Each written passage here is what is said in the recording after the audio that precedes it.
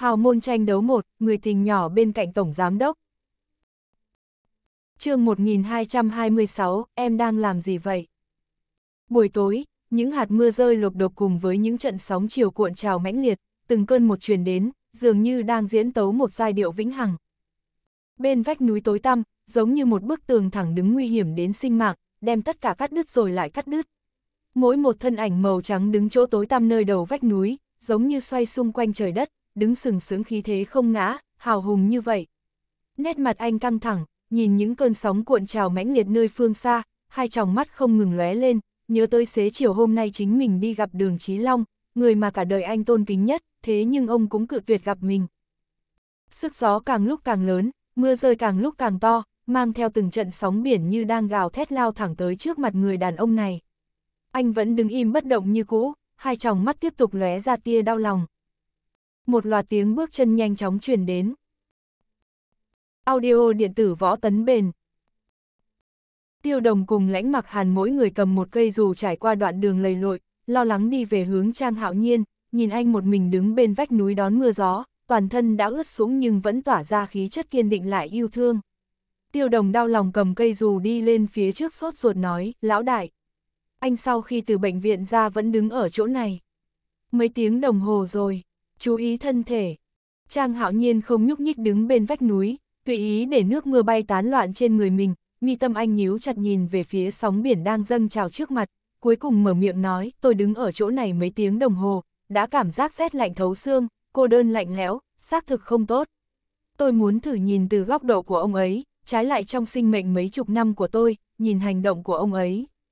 Tôi thực sự tìm không được lý do ông ấy cự tuyệt tôi. Lãnh mặc hàn bung dù, nhìn thật sâu về phía Trang Hạo Nhiên.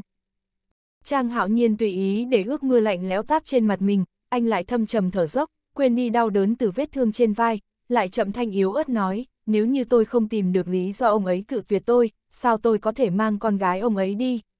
Điều này đối với ông ấy là một loại thương tổn, đối với hạnh phúc của Khả Hinh là một loại không chịu trách nhiệm. Một là dốc hết cả đời rất tốt với tôi, để tôi che đối mưa che gió cả đời, một là muốn làm một chiếc dù nhỏ che mưa, gánh chịu một điểm cô đơn cả đời.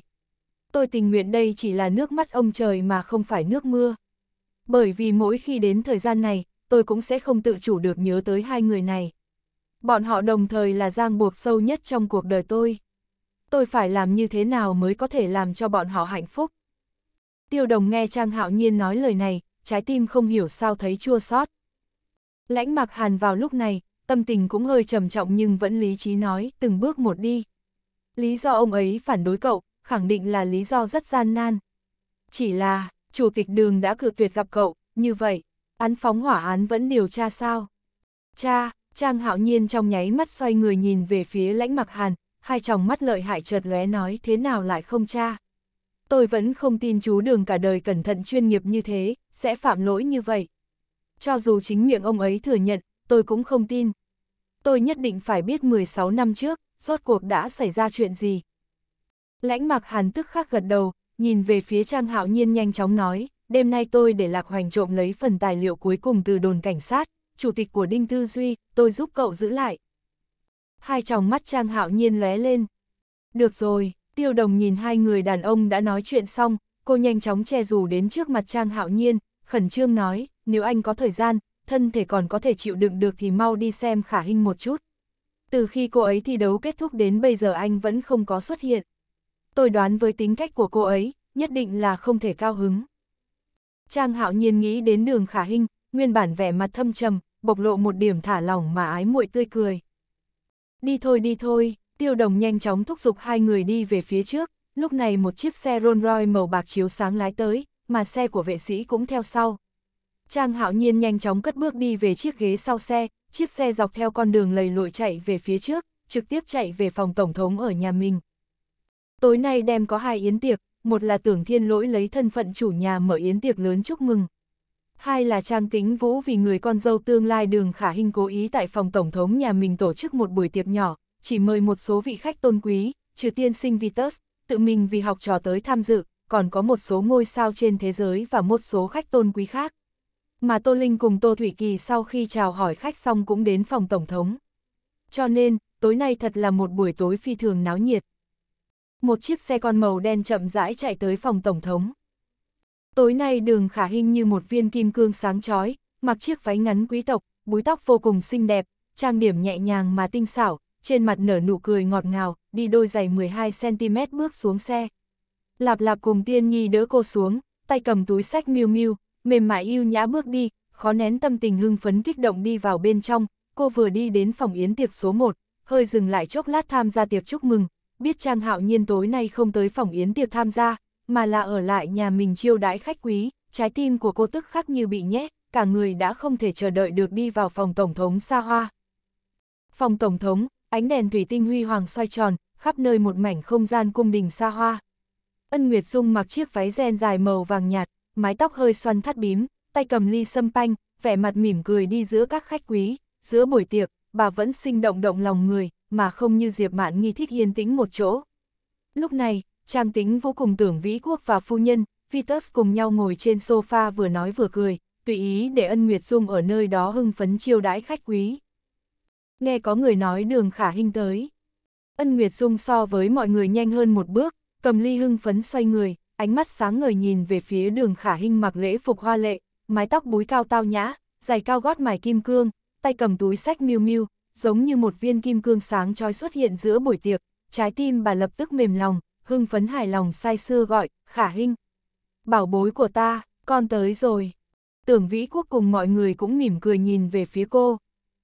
Đường khả hình mặt bộc lộ sự ngượng ngùng mỉm cười, tay cầm túi sách miêu miêu, cùng Lạp Lạp và Tiên Nhi đi vào phòng tổng thống xa hoa, nhìn về phía các vị khách quý đang ca ngợi, liền hướng về phía ân Nguyệt Dung, mềm giọng gọi, phu nhân. Còn gọi phu nhân, con là con dâu ngoan của ta đấy.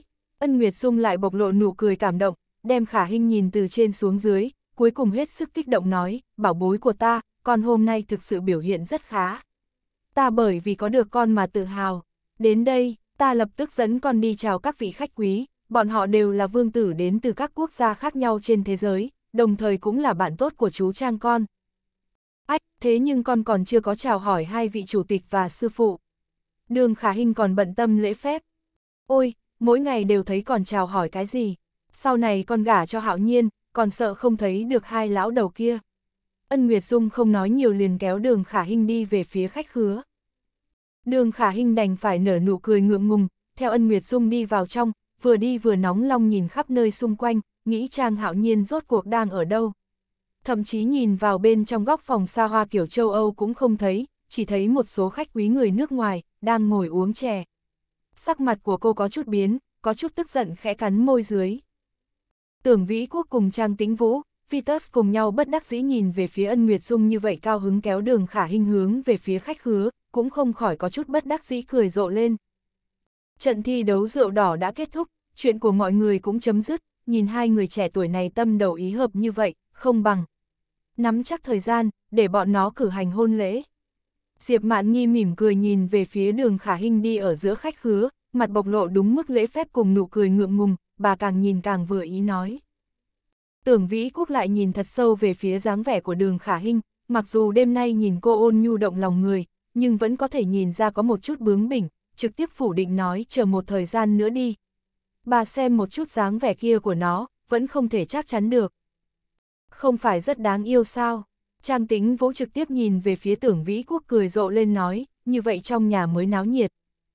Ông còn chê nhà ông không đủ náo nhiệt, tưởng vĩ quốc trực tiếp cười chế nhạo nhìn về phía trang tính vũ. Ngoặc kép chấm chấm chấm chấm chấm chấm chấm chấm chấm ngoặc kép. Trang tính vũ nhìn về phía tưởng vĩ quốc, cả đời của ông vẫn luôn nhường tưởng vĩ quốc, lúc này liền bật cười không nói lời nào. Vitus ngồi ở một bên, thân thể mặc dù khó chịu nhưng vẫn cho một ý kiến đúng trọng điểm.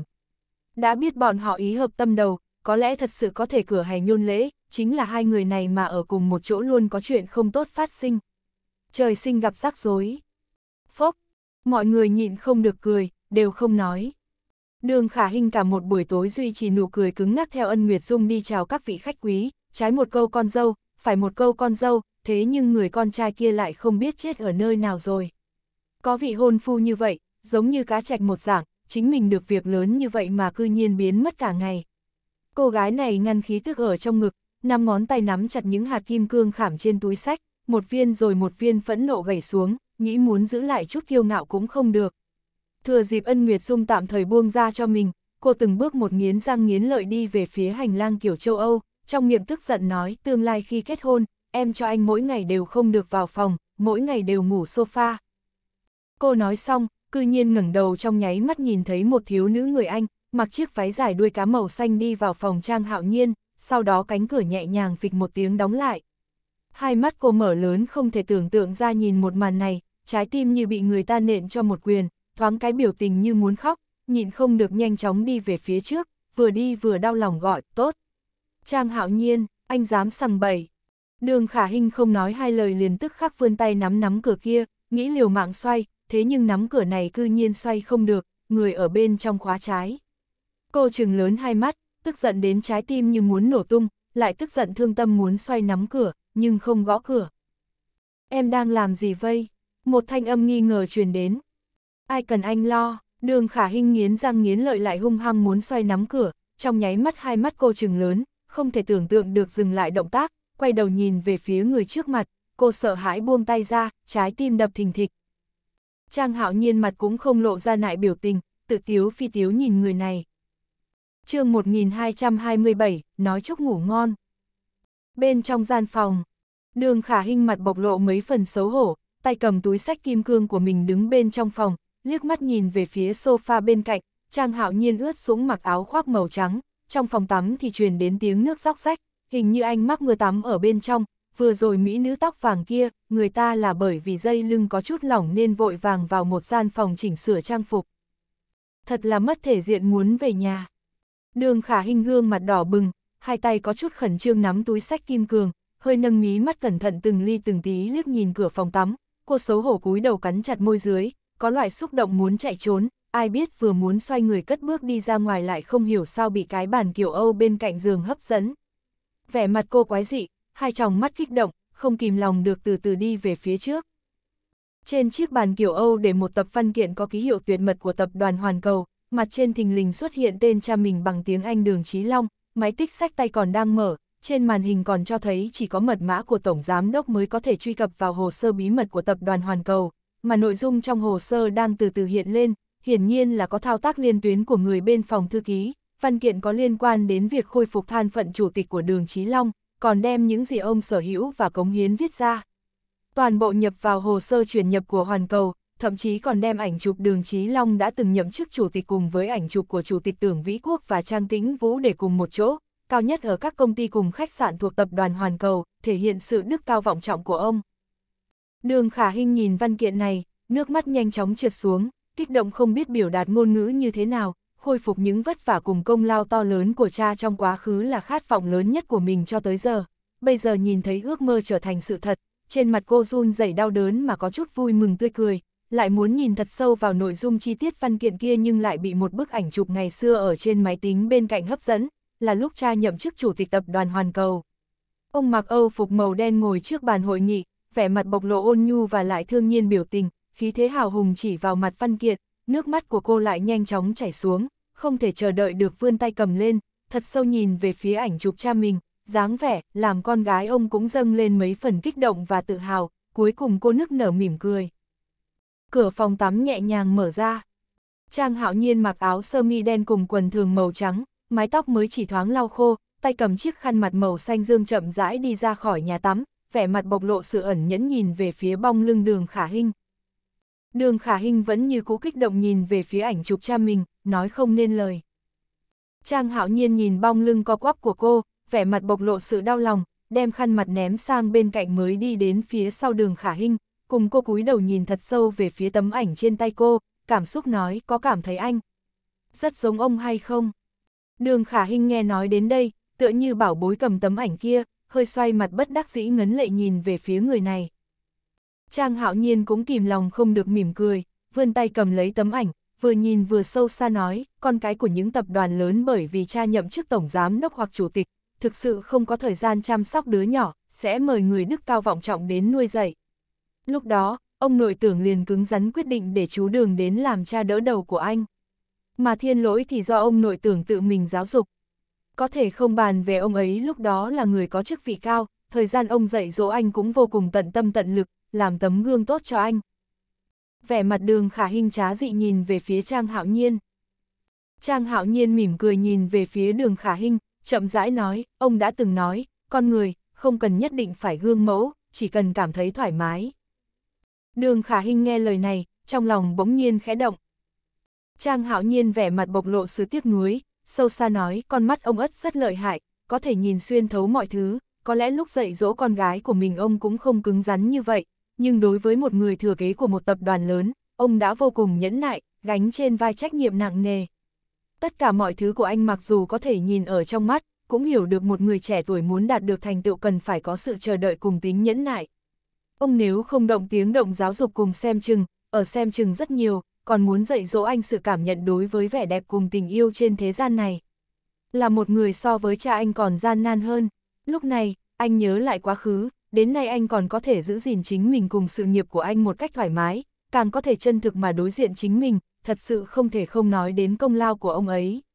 Suy nghĩ một chút bao nhiêu hậu nhân của mấy tập đoàn lớn, phần nhiều là thổi phồng không tôn trọng sinh mệnh con người, ông lại khiến cho anh kiên định ổn trong như vậy, nhìn thẳng vào giá trị của sinh mệnh cùng nguyên tắc làm người. Đường khả Hinh nghe nói đến đây, hai tròng mắt không khỏi lại hồng hào, trong lòng toan muốn cúi đầu nhìn về phía ảnh chụp cha mình. Trang hạo nhiên nhìn thật sâu về phía đường khả hình, thật tình nói em biết. Cha em là người vĩ đại nhất ở nơi nào không? Đường khả hình chậm chạp ngẩng đầu, không hiểu nhìn về phía Trang hạo nhiên. Trang hạo nhiên thâm trầm nhìn về phía ảnh chụp đường Trí Long, thật tình nói, là ông từng ở tập đoàn Hoàn Cầu, lập ra những quy định cùng chế độ thưởng phạt. Một minh quân tối đa chỉ có thể làm một quốc gia su thịnh mấy chục năm, thế nhưng một quy chế hoàn mỹ lại có thể làm quốc gia này vĩnh viễn kéo dài và không ngừng phát triển. Nhìn chung khách sạn Á Châu cho tới tập đoàn Hoàn Cầu sở hữu việc thi lên chức của nhân viên cùng những phương diện phúc lợi, còn có chế độ mở hội nghị bậc thang và bỏ phiếu, toàn bộ đều là cha em khi đó lưu lại. Hai tròng mắt đường khả hình chợt lóe nhìn về phía ảnh chụp cha mình, lại kích động tự hào không nói nên lời. Trang hạo nhiên nói đến đây trong lòng không khỏi một trận trầm trọng đau, anh bất đắc dĩ cùng khó chịu nói, ông ấy là một người trên vạn người, tư tưởng vượt qua bao nhiêu tính mạng con người bình thường, vì không phải lập tức, mà là tương lai. Nhưng đến cuối cùng, ông vì bảo vệ bí mật của hoàn cầu, cam tâm tình nguyện gắn lên mình tội danh tham ô. Thử hỏi, thế gian có bao nhiêu người có thể làm như vậy? Mỗi khi nhớ tới ông ấy, trái tim của anh liền đau đớn. Đường khả hình nghe Trang Hạo Nhiên nói đến đây, cô lại đau lòng hơn nhìn về phía cha của mình. Trang hạo nhiên cũng vào lúc này thật sâu nhìn về phía đường khả hình, sâu xa nói cho nên nói. Em có một người cha tốt nhất thế gian, dường như ông ấy không có để lại cho em cái gì, nhưng ông ấy lại dùng anh lưu lại cả thế giới thật ấm áp cho con gái của mình. Đường khả hình cũng như vậy nhận lời này, vẻ mặt bộc lộ nụ cười cảm kích, thật sâu nhìn về phía ảnh chụp, là lúc trẻ tuổi đẹp trai, phong độ như vậy, quả thật cùng với Trang Hạo Nhiên có chút giống hai cha con. Cô liền như vậy thật sâu nhìn, nhìn một lúc lâu, hai tròng mắt hơi run rẩy, lúc này mới vươn tay lau đi nước mắt trên mặt, chậm rãi cầm tấm ảnh xoay người, mặt hướng về phía Trang Hạo Nhiên, sụt xịt chiếc mũi đỏ bừng, mới nghẹn ngào nói, nói nhiều như vậy, xem ra. Anh thật sự rất kính trọng cha em, bởi vì tất cả sự quý trọng này, anh đối với con gái ông ấy cũng rất tốt. Trang Hạo Nhiên thật sâu nhìn về phía đường khả hình, nhất thời cảm xúc dâng trào, nhớ tới cô hôm nay ở trận thi đấu lớn biểu hiện xuất sắc, liền muốn đi lên phía trước, kích động tự hào ôm lấy cô gái trước mặt. Cho nên, đường khả hình trong nháy mắt ngẩng đầu, không đợi anh ôm chính mình, mặt cô tức khắc run rẩy cảm động nở nụ cười hạnh phúc, mềm giọng ái muội nói, đêm nay em ngủ ở chỗ này. a à, hai mắt Trang Hạo Nhiên chợt lóe, cho là mình nghe lầm, trực tiếp không thể tưởng tượng ra chừng mắt nhìn đường khả hình. Đường khả hình trực tiếp nhu tình ngẩng đầu nhìn về phía Trang Hạo Nhiên, kích động cười nói, em nói. Đêm nay em liền ngủ ở chỗ này, chúng ta đã là vị hôn thê của nhau, thật vất vả trận thi đấu lớn mới kết thúc. Đương nhiên muốn cùng nhau ở một chỗ, đúng không? Bảo bối, Trang hạo nhiên nghe lời này, nhịn không được cười rộ lên, ôm lấy khuôn mặt nhỏ nhắn của cô, bất đắc dĩ nói em không cần phải như vậy. Anh mặc dù cởi mở nhưng nên vì em mà giữ lại một chút kiêu ngạo. Chúng ta còn chưa có kết hôn, em ngủ lại nhà của anh. Điều này không tốt. Có cái gì không tốt? Đường khả hình sốt ruột nói, em thấy chị Trang và bác Dịch đều ngủ cùng một chỗ A. Chị của anh hành vi không bình thường, em đừng học chị ấy. Ngoan, Trang hạo nhiên thoáng cái khẩn trương vươn hai tay, nhẹ nắm lấy vai đường khả hình, khẩn trương đem cô đẩy ra phía ngoài phòng mới nói, nghe lời, trước tiêm em đi ra ngoài chơi, anh đổi bộ quần áo rồi lập tức ra. Không muốn, đường khả hình một bên bị Trang Hạo Nhiên đẩy ra ngoài, một bên tâm tình kích động dẫy dụa nói, đêm nay em muốn ngủ lại đây. Sau đó nói chúc ngủ ngon với cha mẹ anh. Được rồi, em đừng nháo nữa, trận thi đấu lớn vừa mới kết thúc, một lúc nữa mấy người phu nhân dóc sẽ tới. Nếu như nhìn thấy chúng ta ngủ cùng một chỗ, vậy sao được? Trước tiên phải có chút khiêm tốn. Trang hạo nhiên nói xong liền tức khắc nhẫn tâm vươn tay đem đường khả hình đang dẫy dụa thân thể đẩy ra ngoài, trong nháy mắt vịch một tiếng cửa đóng lại.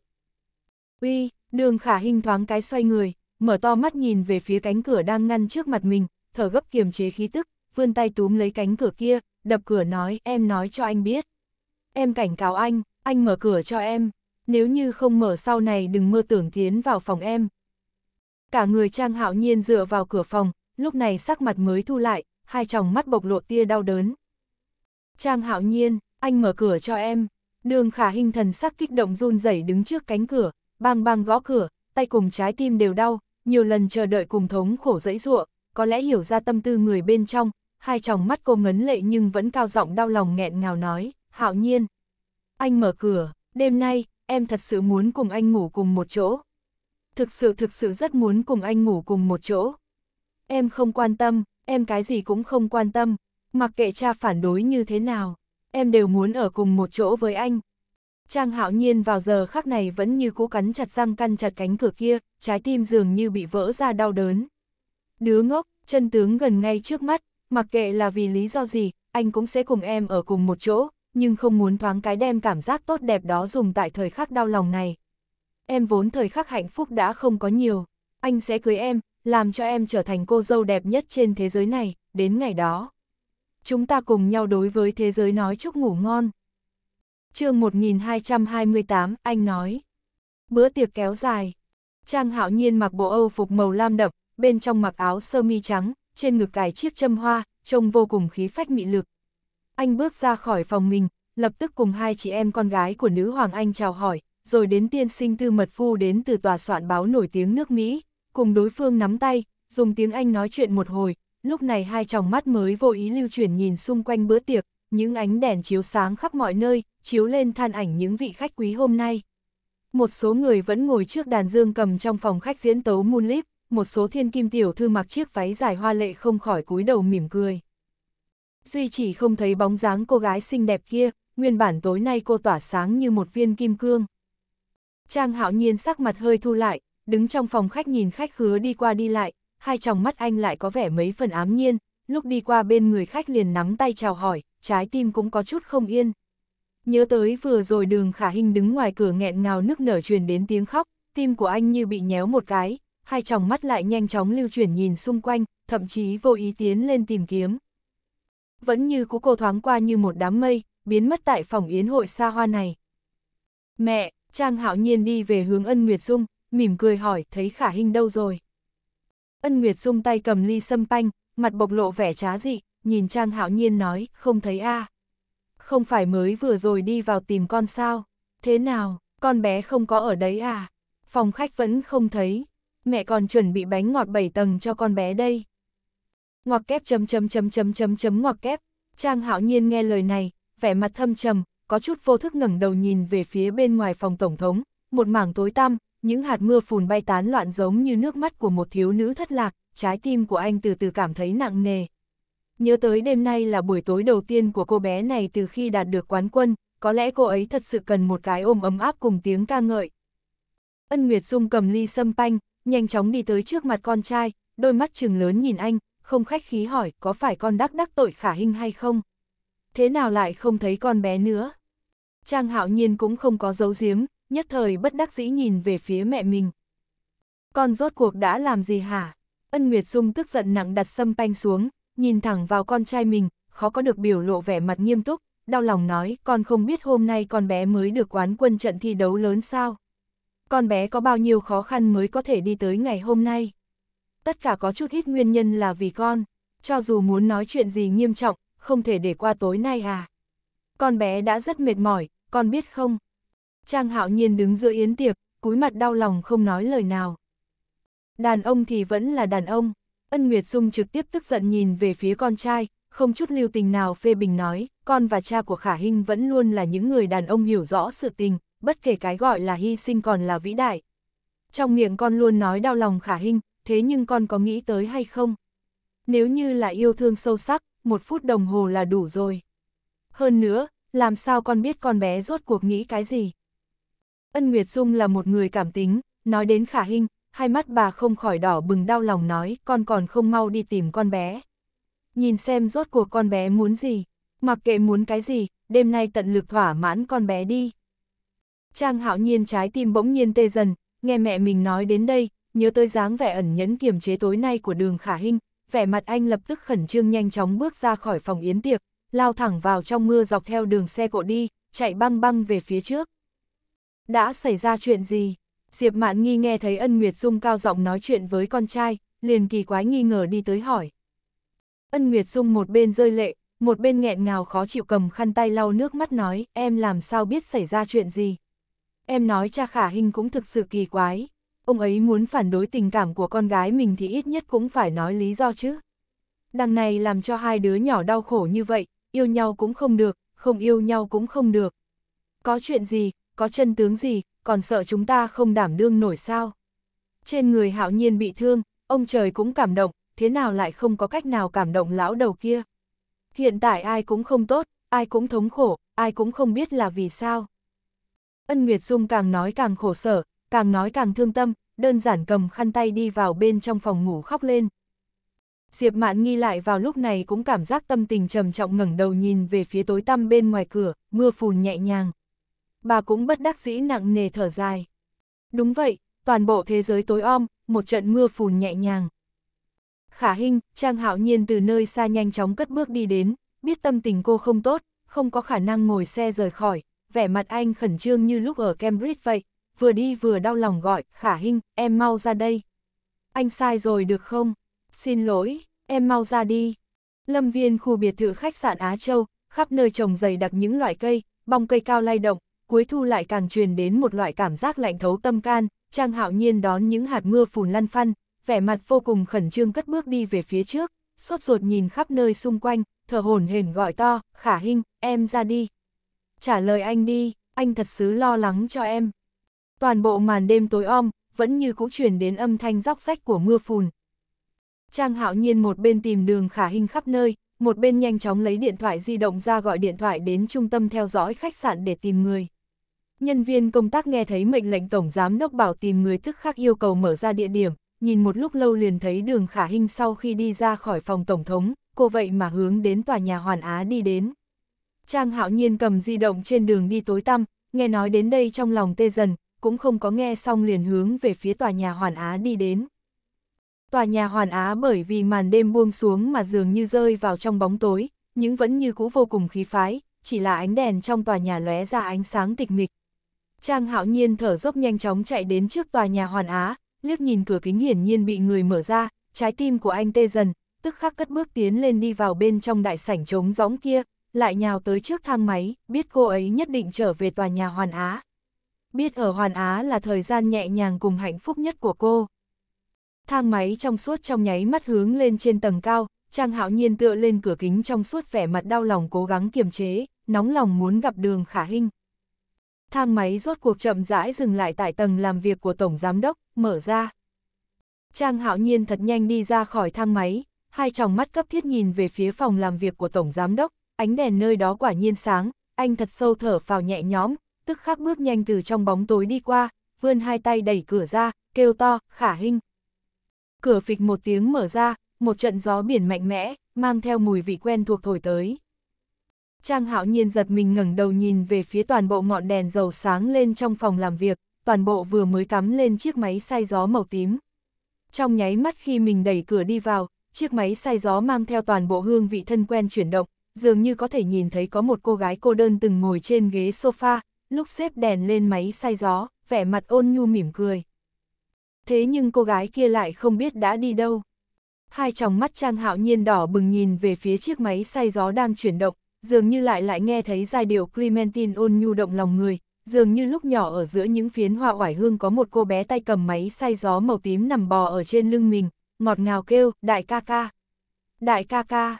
Những lời này dường như xuyên thấu qua thời gian, vẫn như cũ đẹp đẽ như vậy, trái tim lại nhói đau. Trang hạo nhiên đứng trong phòng làm việc, hai tròng mắt ngấn lệ tràn đầy đau đớn, không khỏi nhìn về phía chiếc máy xay gió màu tím đang xoay tròn chuyển động kia, nhớ tới lúc nhỏ có một cô gái mặc quần trắng, khoác chiếc áo khoác cùng màu đang cầm một bó hoa đi giữa rừng trúc, cười ngọt ngào đến đáng yêu. Anh đột nhiên phát hiện cả người vô lực, chậm rãi cất bước đi tới trên sofa ngồi xuống, cảm nhận thế giới xung quanh mình đang chuyển động xoay tròn. Vẻ mặt anh lại bộc lộ cảm xúc đau đớn vô hạn, chậm rãi đến gần máy xay gió, nghĩ muốn chạm đến nhưng lại không dám chạm. Chỉ là đứng nhìn màu tím của chiếc máy xay gió, nhìn nó xoay tròn, trái tim của anh lại đau đớn như vỡ ra từng mảnh mặc dù hiểu rõ ràng nội tâm cùng ý nghĩ của cô.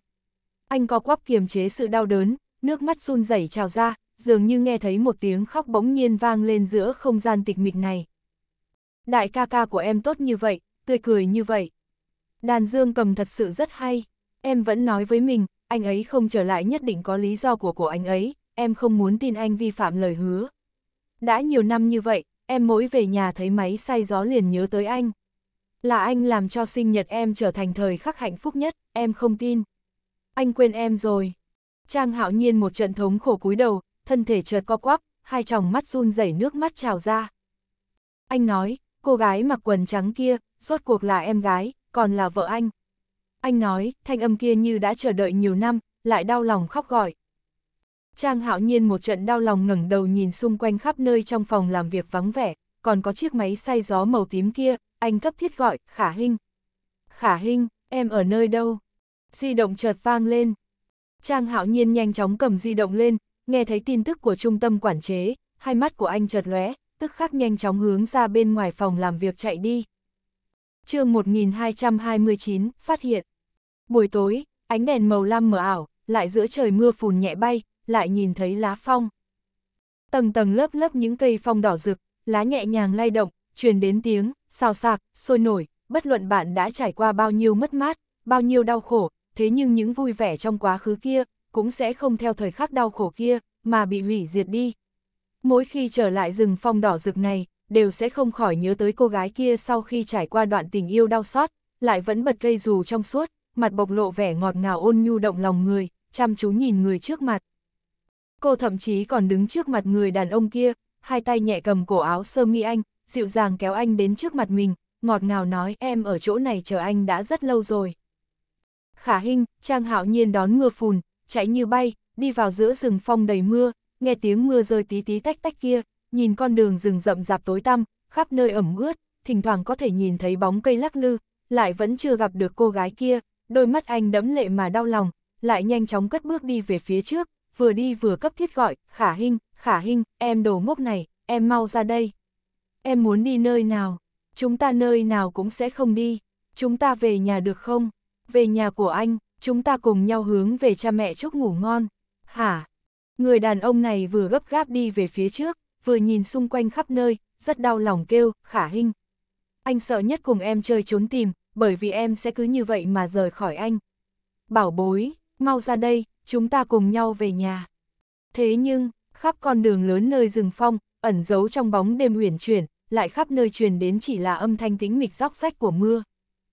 Trang hạo nhiên cơ hồ đem từng nơi trong con đường rừng phong lớn tìm khắp, đều không tìm được người, anh càng tìm tầm càng đập nhanh, càng tìm tim càng đau, cuối cùng, anh một trận tức giận đến phát run từ trong úi ô phục, lấy điện thoại di động ra bấm số trung tâm camera giám sát, lần đầu tiên tức giận gào thét hoàn cầu nuôi mấy thứ phế vật như các người làm cái gì. Muốn các người tìm cho tôi một người cũng tìm không được. Cô ấy hiện tại rốt cuộc ở nơi nào? Nhân viên trung tâm giám sát bên kia, bị dọa sợ đến mức cả người đần ra một lúc lâu, mới nơm nớp lo sợ nói cô ấy. Cô ấy, cô ấy hình như theo cửa sau của khách sạn ra, rời khỏi phạm vi giám sát, bởi vì camera giám sát của chúng ta muốn xuất ra, phải sớm 5 phút đồng hồ. Trang hạo nhiên trong nháy mắt cúp điện thoại, mặt bộc lộ vẻ cấp thiết đau lòng, lại cất bước thật nhanh chạy ra cửa sau khách sạn, vừa chạy vừa thực sự áy náy cùng tan nát cõi lòng gọi, khả hình. Em nơi nào cũng không được đi, em chờ anh một chút, anh sẽ cho em hạnh phúc, hãy tin anh. Chúng ta thật vất vả mới đi đến hôm nay, chúng ta thật vất vả với ngàn vạn khó khăn đi đến hôm nay. Anh không tin Thượng Đế là vì khảo nghiệm mà chia rẽ chúng ta. Người đàn ông này nói xong, liền lại một trận gấp gáp, không chút do dự cất bước chạy như bay về phía trước. Phía sau khách sạn, cũng bao quanh vô số cây phong, bên ngoài bức tường kia cũng là rừng phong đỏ rực san sát nhau, không bao lâu sau, cây dù trong suốt, hai người dựa sát vào nhau, cùng nhau đón mưa phùn nhẹ nhàng bay đi về phố xá sầm uất kia, còn nhớ bà lão tuổi đã 90, cùng với sự quan tâm lo lắng của một người đàn ông.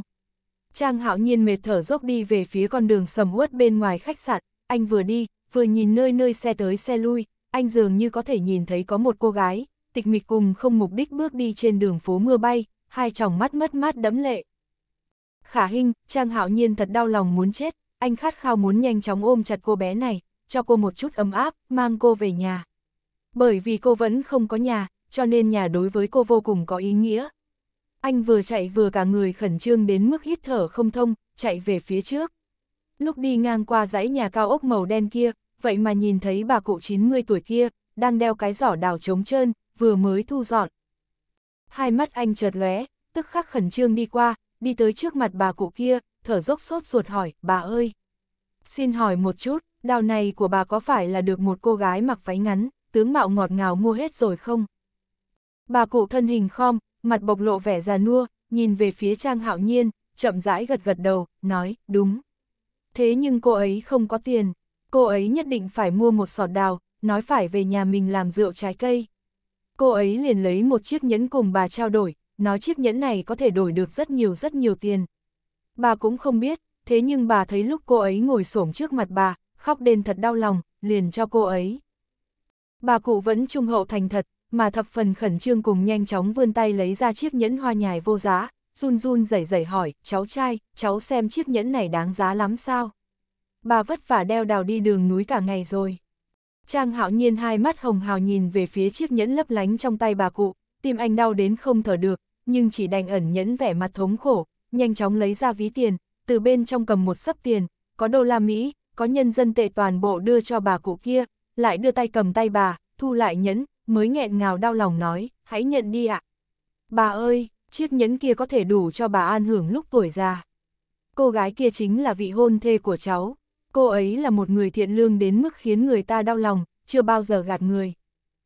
Trang hạo nhiên nói xong, lại mặt bộc lộ sự đau lòng, đứng trên con đường mưa như rồng phun, bất đắc dĩ mà khẩn trương gọi, khả hình. Chúng ta về nhà, mặc kệ phát sinh chuyện gì, chúng ta nhất định phải bên nhau. Chúng ta về nhà, em mau ra đây. Vẫn như cũ, vẫn mưa phùn mọt mù, ngựa xe như nước, đèn nê ông lóe ra. Trang hạo nhiên lại không mục đích đi về phía con đường náo nhiệt, vừa đi vừa đau lòng nhìn, nghe di động vang lên, anh nhấn nút nghe, nghe thấy đám người nhã tuệ cùng tô lạc hoành đều không tìm được khả hình, tim anh càng quặn thắt, lại thống khổ cất bước muốn chạy về phía trước, lại vừa mới đạp trên mặt đất ẩm ướt một khắc, sắc mặt anh căng thẳng, hai tròng mắt lóe ra ánh sáng cường liệt, suy tư một hồi, anh dường như tìm được một chút hy vọng, tức khắc xoay người, vẫy tay gọi taxi, chính mình nhanh chóng ngồi lên xe. Nói cho anh quay về con đường phía tây. Đó là một con đường cổ xưa, vô số bóng cây tương tư sẽ vào cuối thu, bay ra thật nhiều những đóa hoa tuyết, hồ sen phía trước, đã tàn lá, vô số những căn nhà phố, chỉ yếu ớt lóe ra ánh đèn, lộ ra bầu không khí trầm lắng cùng tịch mịch. Một chiếc taxi thắng gấp trước một căn nhà nhỏ nào đó. Trang hạo nhiên nhanh chóng đi từ trong tác ra, cũng bất chấp thân thể ẩm ướt, liền đau lòng sốt ruột đi về phía dưới ban công căn nhà nhỏ, lập tức nhìn thấy ban công cũ kỳ nhỏ trước đây treo đầy long nhãn, lúc này đã bị dỡ bỏ cửa sổ, dường như được xây dựng lại, bộc lộ cảm giác trống trơn, tim anh bỗng nhiên trầm xuống, nhưng vẫn nhanh chóng cất bước đi về phía phố xá sầm uất không xa. Khả Hinh, Trang Hạo Nhiên mệt đến mức ướt đẫm mồ hôi, thở phì phò, đi về phía phố xá nho nhỏ náo nhiệt, tức khắc không thấy mưa càng lúc càng lớn, muốn xuyên vào trong đám người tìm kiếm đường Khả Hinh, ai ngờ lúc anh sắp tuyệt vọng, vậy mà nhìn thấy một cửa hàng trò chơi nào đó, một dáng người hơi gầy lóe lên, cô đang ôn ôn nhu nhu buồn bã quay lưng về phía mình, hai mắt anh chợt lóe, lập tức thở hổn hển một hơi, cảm tạ trời đất, đau lòng nhìn về phía cô gái trước mặt. Một túi ni lông quả đào màu đen, ẩm ướt rừng ở trong mưa. Đường khả hình vẫn chỉ mặc một chiếc váy ngắn đơn giản, mặt bộc lộ vẻ tiêu tụy mất mát, toàn thân ẩm ướt lạnh lẽo đứng trước một chiếc máy gắp thú nhồi bông nào đó, lộ ra bên trong cửa sổ thủy tinh kia, nhìn một vài con thú bông nhỏ màu vàng màu lam màu trắng, dừng bên trong chiếc máy, không biết có bao nhiêu đáng yêu động lòng người. Hai mắt cô đẫm lệ, bị ánh đèn của máy, ánh lên buồn bã cùng trong veo, không hiểu nhớ tới lúc mình thất tình bi thương đi đến nơi này, có một lồng ngực ấm áp tới sát thân thể của mình vào cái đêm cuối thu ấy, gắp cho mình một chú thú bông nhỏ. Nước mắt lăn xuống. Đường khả hình đột nhiên sốt ruột thống khổ cúi đầu, mở túi sách nhỏ, vừa rồi lúc ngồi taxi, còn lại vài đồng tiền xu, trước lấy ra một đồng tiền xu bỏ vào nơi nhận tiền của máy, nhìn bên trong ánh đèn di chuyển rồi chợt sáng, mặt cô lập tức lộ vẻ cấp thiết, nhẹ tay đặt trước cái nút màu vàng kia, muốn di chuyển cái gắp thú bên trong, cô nhìn thấy một con sao biển nhỏ, giống như đúc con thú mà Trang Hạo Nhiên đã gắp cho mình trước đây, cô gấp gáp di chuyển cái kẹp, chuẩn bị muốn thả gắp, gắp con thú nhỏ kia. Ai ngờ cái kẹp vừa buông, con sao biển kia liền rớt xuống. Mặt cô lộ vẻ thống khổ, nước mắt run run lăn xuống, lại đau khổ kiềm chế bỏ tiền xu vào, lại muốn nỗ lực kẹp chú sao biển kia. Trang hạo nhiên đau lòng đứng trong đám người, trầm mặc nhìn về phía đường khả hinh. Tiền xu lại từng đồng từng đồng được bỏ vào. Đường khả hinh cầm một đồng tiền xu cuối cùng nhét vào trong máy kia, mặt bộc lộ vẻ cấp thiết, lại ấn nút một cơ hội cuối cùng kẹp chú sư tử kia. Ai ngờ đang lúc kẹp chú sư tử kia lên, lúc sắp sửa thành công, chú sao biển kia cuối cùng lại vẫn rơi xuống. Cô cứ như vậy thật sâu mà thất vọng nhìn về phía chú sư tử kia, dừng bên trong con thú bông thật lâu, lòng cô chợt một trận đau đớn, đột nhiên nước mắt lại lăn dài, thống khổ buồn bã vươn hai tay, không ngừng vỗ vỗ cửa sổ thủy tinh kia, đau lòng khóc lên, ta muốn con sao biển kia. Ta muốn con sao biển kia, chẳng lẽ ngay cả chút tâm nguyện này cũng không cho ta sao? Vậy rốt cuộc ta nỗ lực nhiều năm như vậy là vì sao chứ? Có phải người muốn một viên đạn trong thân thể ta khiến ta chảy máu rơi lệ mới đau lòng hay không vậy? Cô bé này thống khổ vươn tay, không ngừng sống chết đập mạnh vào tấm thủy tinh trong suốt kia, vừa đập vừa khóc gọi, chẳng lẽ đây là nguyện vọng không có cách nào thực hiện được sao? Trong chóng màu tím đã gãy đi, quả đào ta cũng đã mua, vì sao vẫn là không có cách nào quay trở lại quá khứ? Ta muốn con sư tử kia, ta muốn con sư tử kia, hoặc khi ta bắt được con sư tử kia, người kia sẽ xuất hiện. Ta nguyện ý dùng hạnh phúc cả đời ta, đổi lấy nguyện vọng này. Chỉ một buổi tối là đủ rồi, chỉ một buổi tối, trời à, người hãy thương ta đi. Cô bé này buồn bã nói ra, lại nhìn con sư tử kia vẫn yên tĩnh nằm ở nơi đó, cô đột nhiên một trận rơi lệ tức giận kích động vươn tay, sống chết này sinh ý định ác độc muốn đập bể cửa sổ thủy tinh kia, vừa sống chết đập, vừa khóc kêu to ta muốn cân sư tử nhỏ kia. Ta muốn con sư tử nhỏ kia, người mau đi ra đây cho ta, người mau đi ra đây cho ta.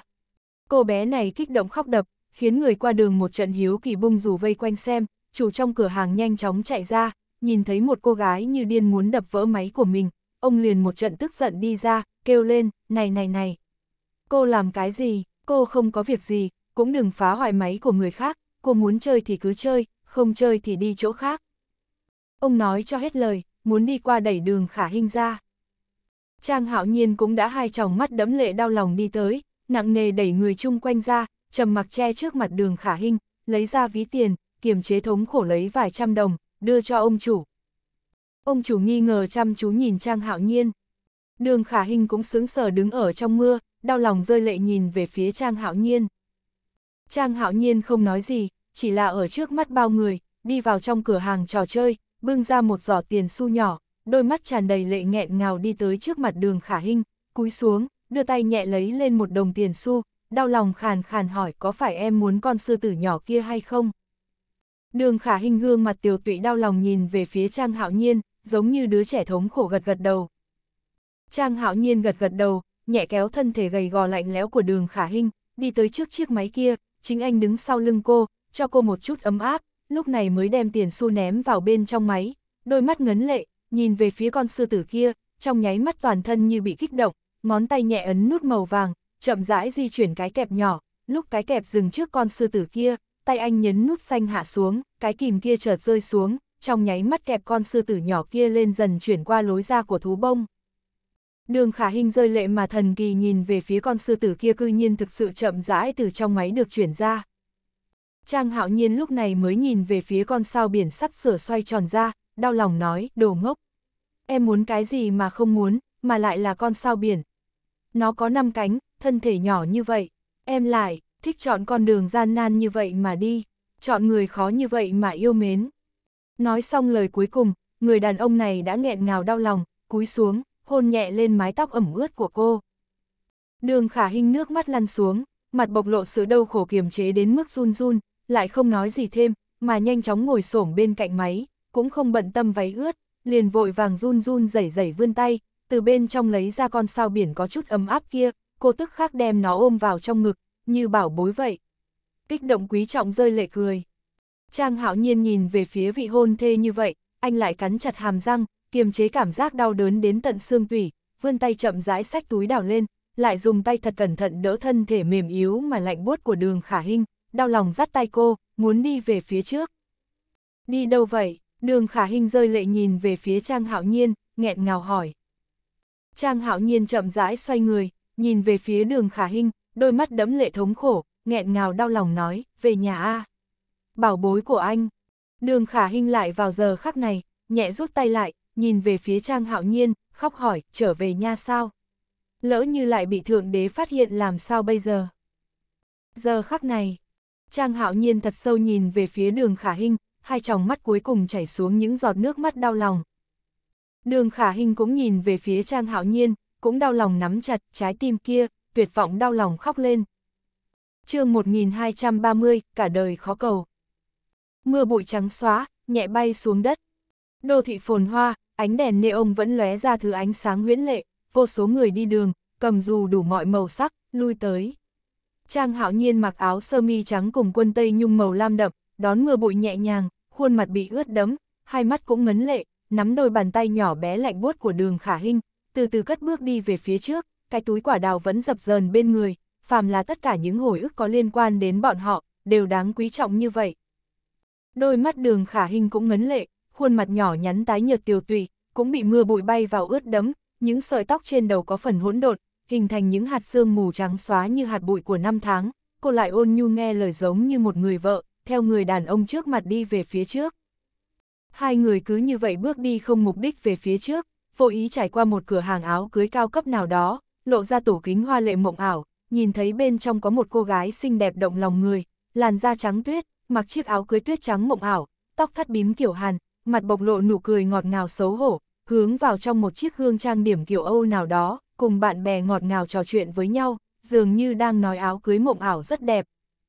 Đường khả hình sắc mặt thu lại, hai tròng mắt đẫm lệ, kìm lòng không được nhìn về phía cô gái dịu dàng bên trong, mặc chiếc áo cưới cúp ngực với đuôi váy dài mà mộng ảo, dường như nghe thấy tin gì hạnh phúc, nhịn không được đưa đến bên môi, ngọt ngào bật cười. Cô cứ như vậy yếu ớt nhìn về phía cô gái mặc áo cưới kia, dáng vẻ xúc động hạnh phúc, nước mắt không tự chủ lại lăn dài. Trang hạo nhiên cũng bất đắc dĩ đứng trước tủ kính, nhìn về phía cô gái ngọt ngào bên trong, lập tức nói không nên lời. Đường khả hình lại tiều tụy vươn tay, nhẹ dán sát tủ kính lạnh băng kia, mất mát đẫm lệ nhìn cô gái bên trong, mặt lại bộc lộ khát vọng mà đau lòng tươi cười, sâu thẳm vô lực nói em kiếp này có cơ hội hay không? Được làm một cô dâu a à. Trang hạo nhiên đau lòng quay mặt sang, hai tròng mắt ngấn lệ, nhìn về phía đường khả hình. Em có cơ hội hay không? Cũng như các cô ấy, mang tâm tình hạnh phúc mà ngọt ngào, cùng bạn tốt nhất của mình bầu bạn, đến cửa hàng áo cưới thử mặc áo cưới. Nếu như cảm thấy chỗ nào không hợp, còn có thể đưa ra yêu cầu. Để cho từng mảnh vải lụa trắng mộng ảo, từ trong thế giới của em mà mở ra. Lúc em mở mắt ra, nhìn thấy chính là người đàn ông mà em yêu nhất. Đến ngày đó, em nhất định rất hạnh phúc, rất hạnh phúc, đường khả hình yếu ớt nói xong, sắc mặt càng lộ sự tái nhợt, thở phì phò, hai tay đập mạnh hơn cửa sổ thủy tinh, đẫm lệ cấp thiết nhìn về phía cô gái xinh đẹp bên trong cửa hàng áo cưới, càng nhìn càng đau đớn. Càng nhìn càng khát vọng, đến cuối cùng, mặt cô run rẩy thống khổ kiềm chế, chán chạm vào cửa kính mộng ảo kia, tùy ý nước mắt đau lòng mất mát chảy xuống, từng giọt từng giọt ai oán tuyệt vọng theo khóe mắt lan dài. Trang hạo nhiên cũng toàn thân ướt đẫm, tùy ý mưa gió đập vào người mình, anh lại cắn chặt răng nhìn về phía cô gái đờ nát đau khổ trước mặt, đôi mắt sắc bén đau khổ cũng chợt lóe, tức khắc cất bước tiến lên, vươn tay nắm chặt tay cô, đem cô trực tiếp loạn choạng kéo vào trong cửa hàng áo cưới kia, dưới ánh mắt quái dị của quản lý cùng khách hàng, giọng nói anh trầm trọng mà có lực, căn dặn chọn cho cô gái này một chiếc áo cưới thích hợp với cô ấy. Càng lộng lẫy càng tốt, càng xinh đẹp càng tốt. Quản lý dẫn nhân viên cất bước tiến lên, nghe Trang Hạo Nhiên nói đến đây, các cô cũng không khỏi nhìn về phía cô gái ẩm ướt trước mặt, lại vẫn nhìn ra là một cô gái đẹp nghiêng nước nghiêng thành. Đường khả hình mặt lộ vẻ kích động, hai tròng mắt run rẩy ngấn lệ, đau lòng kiềm chế nhìn về phía Trang Hạo Nhiên.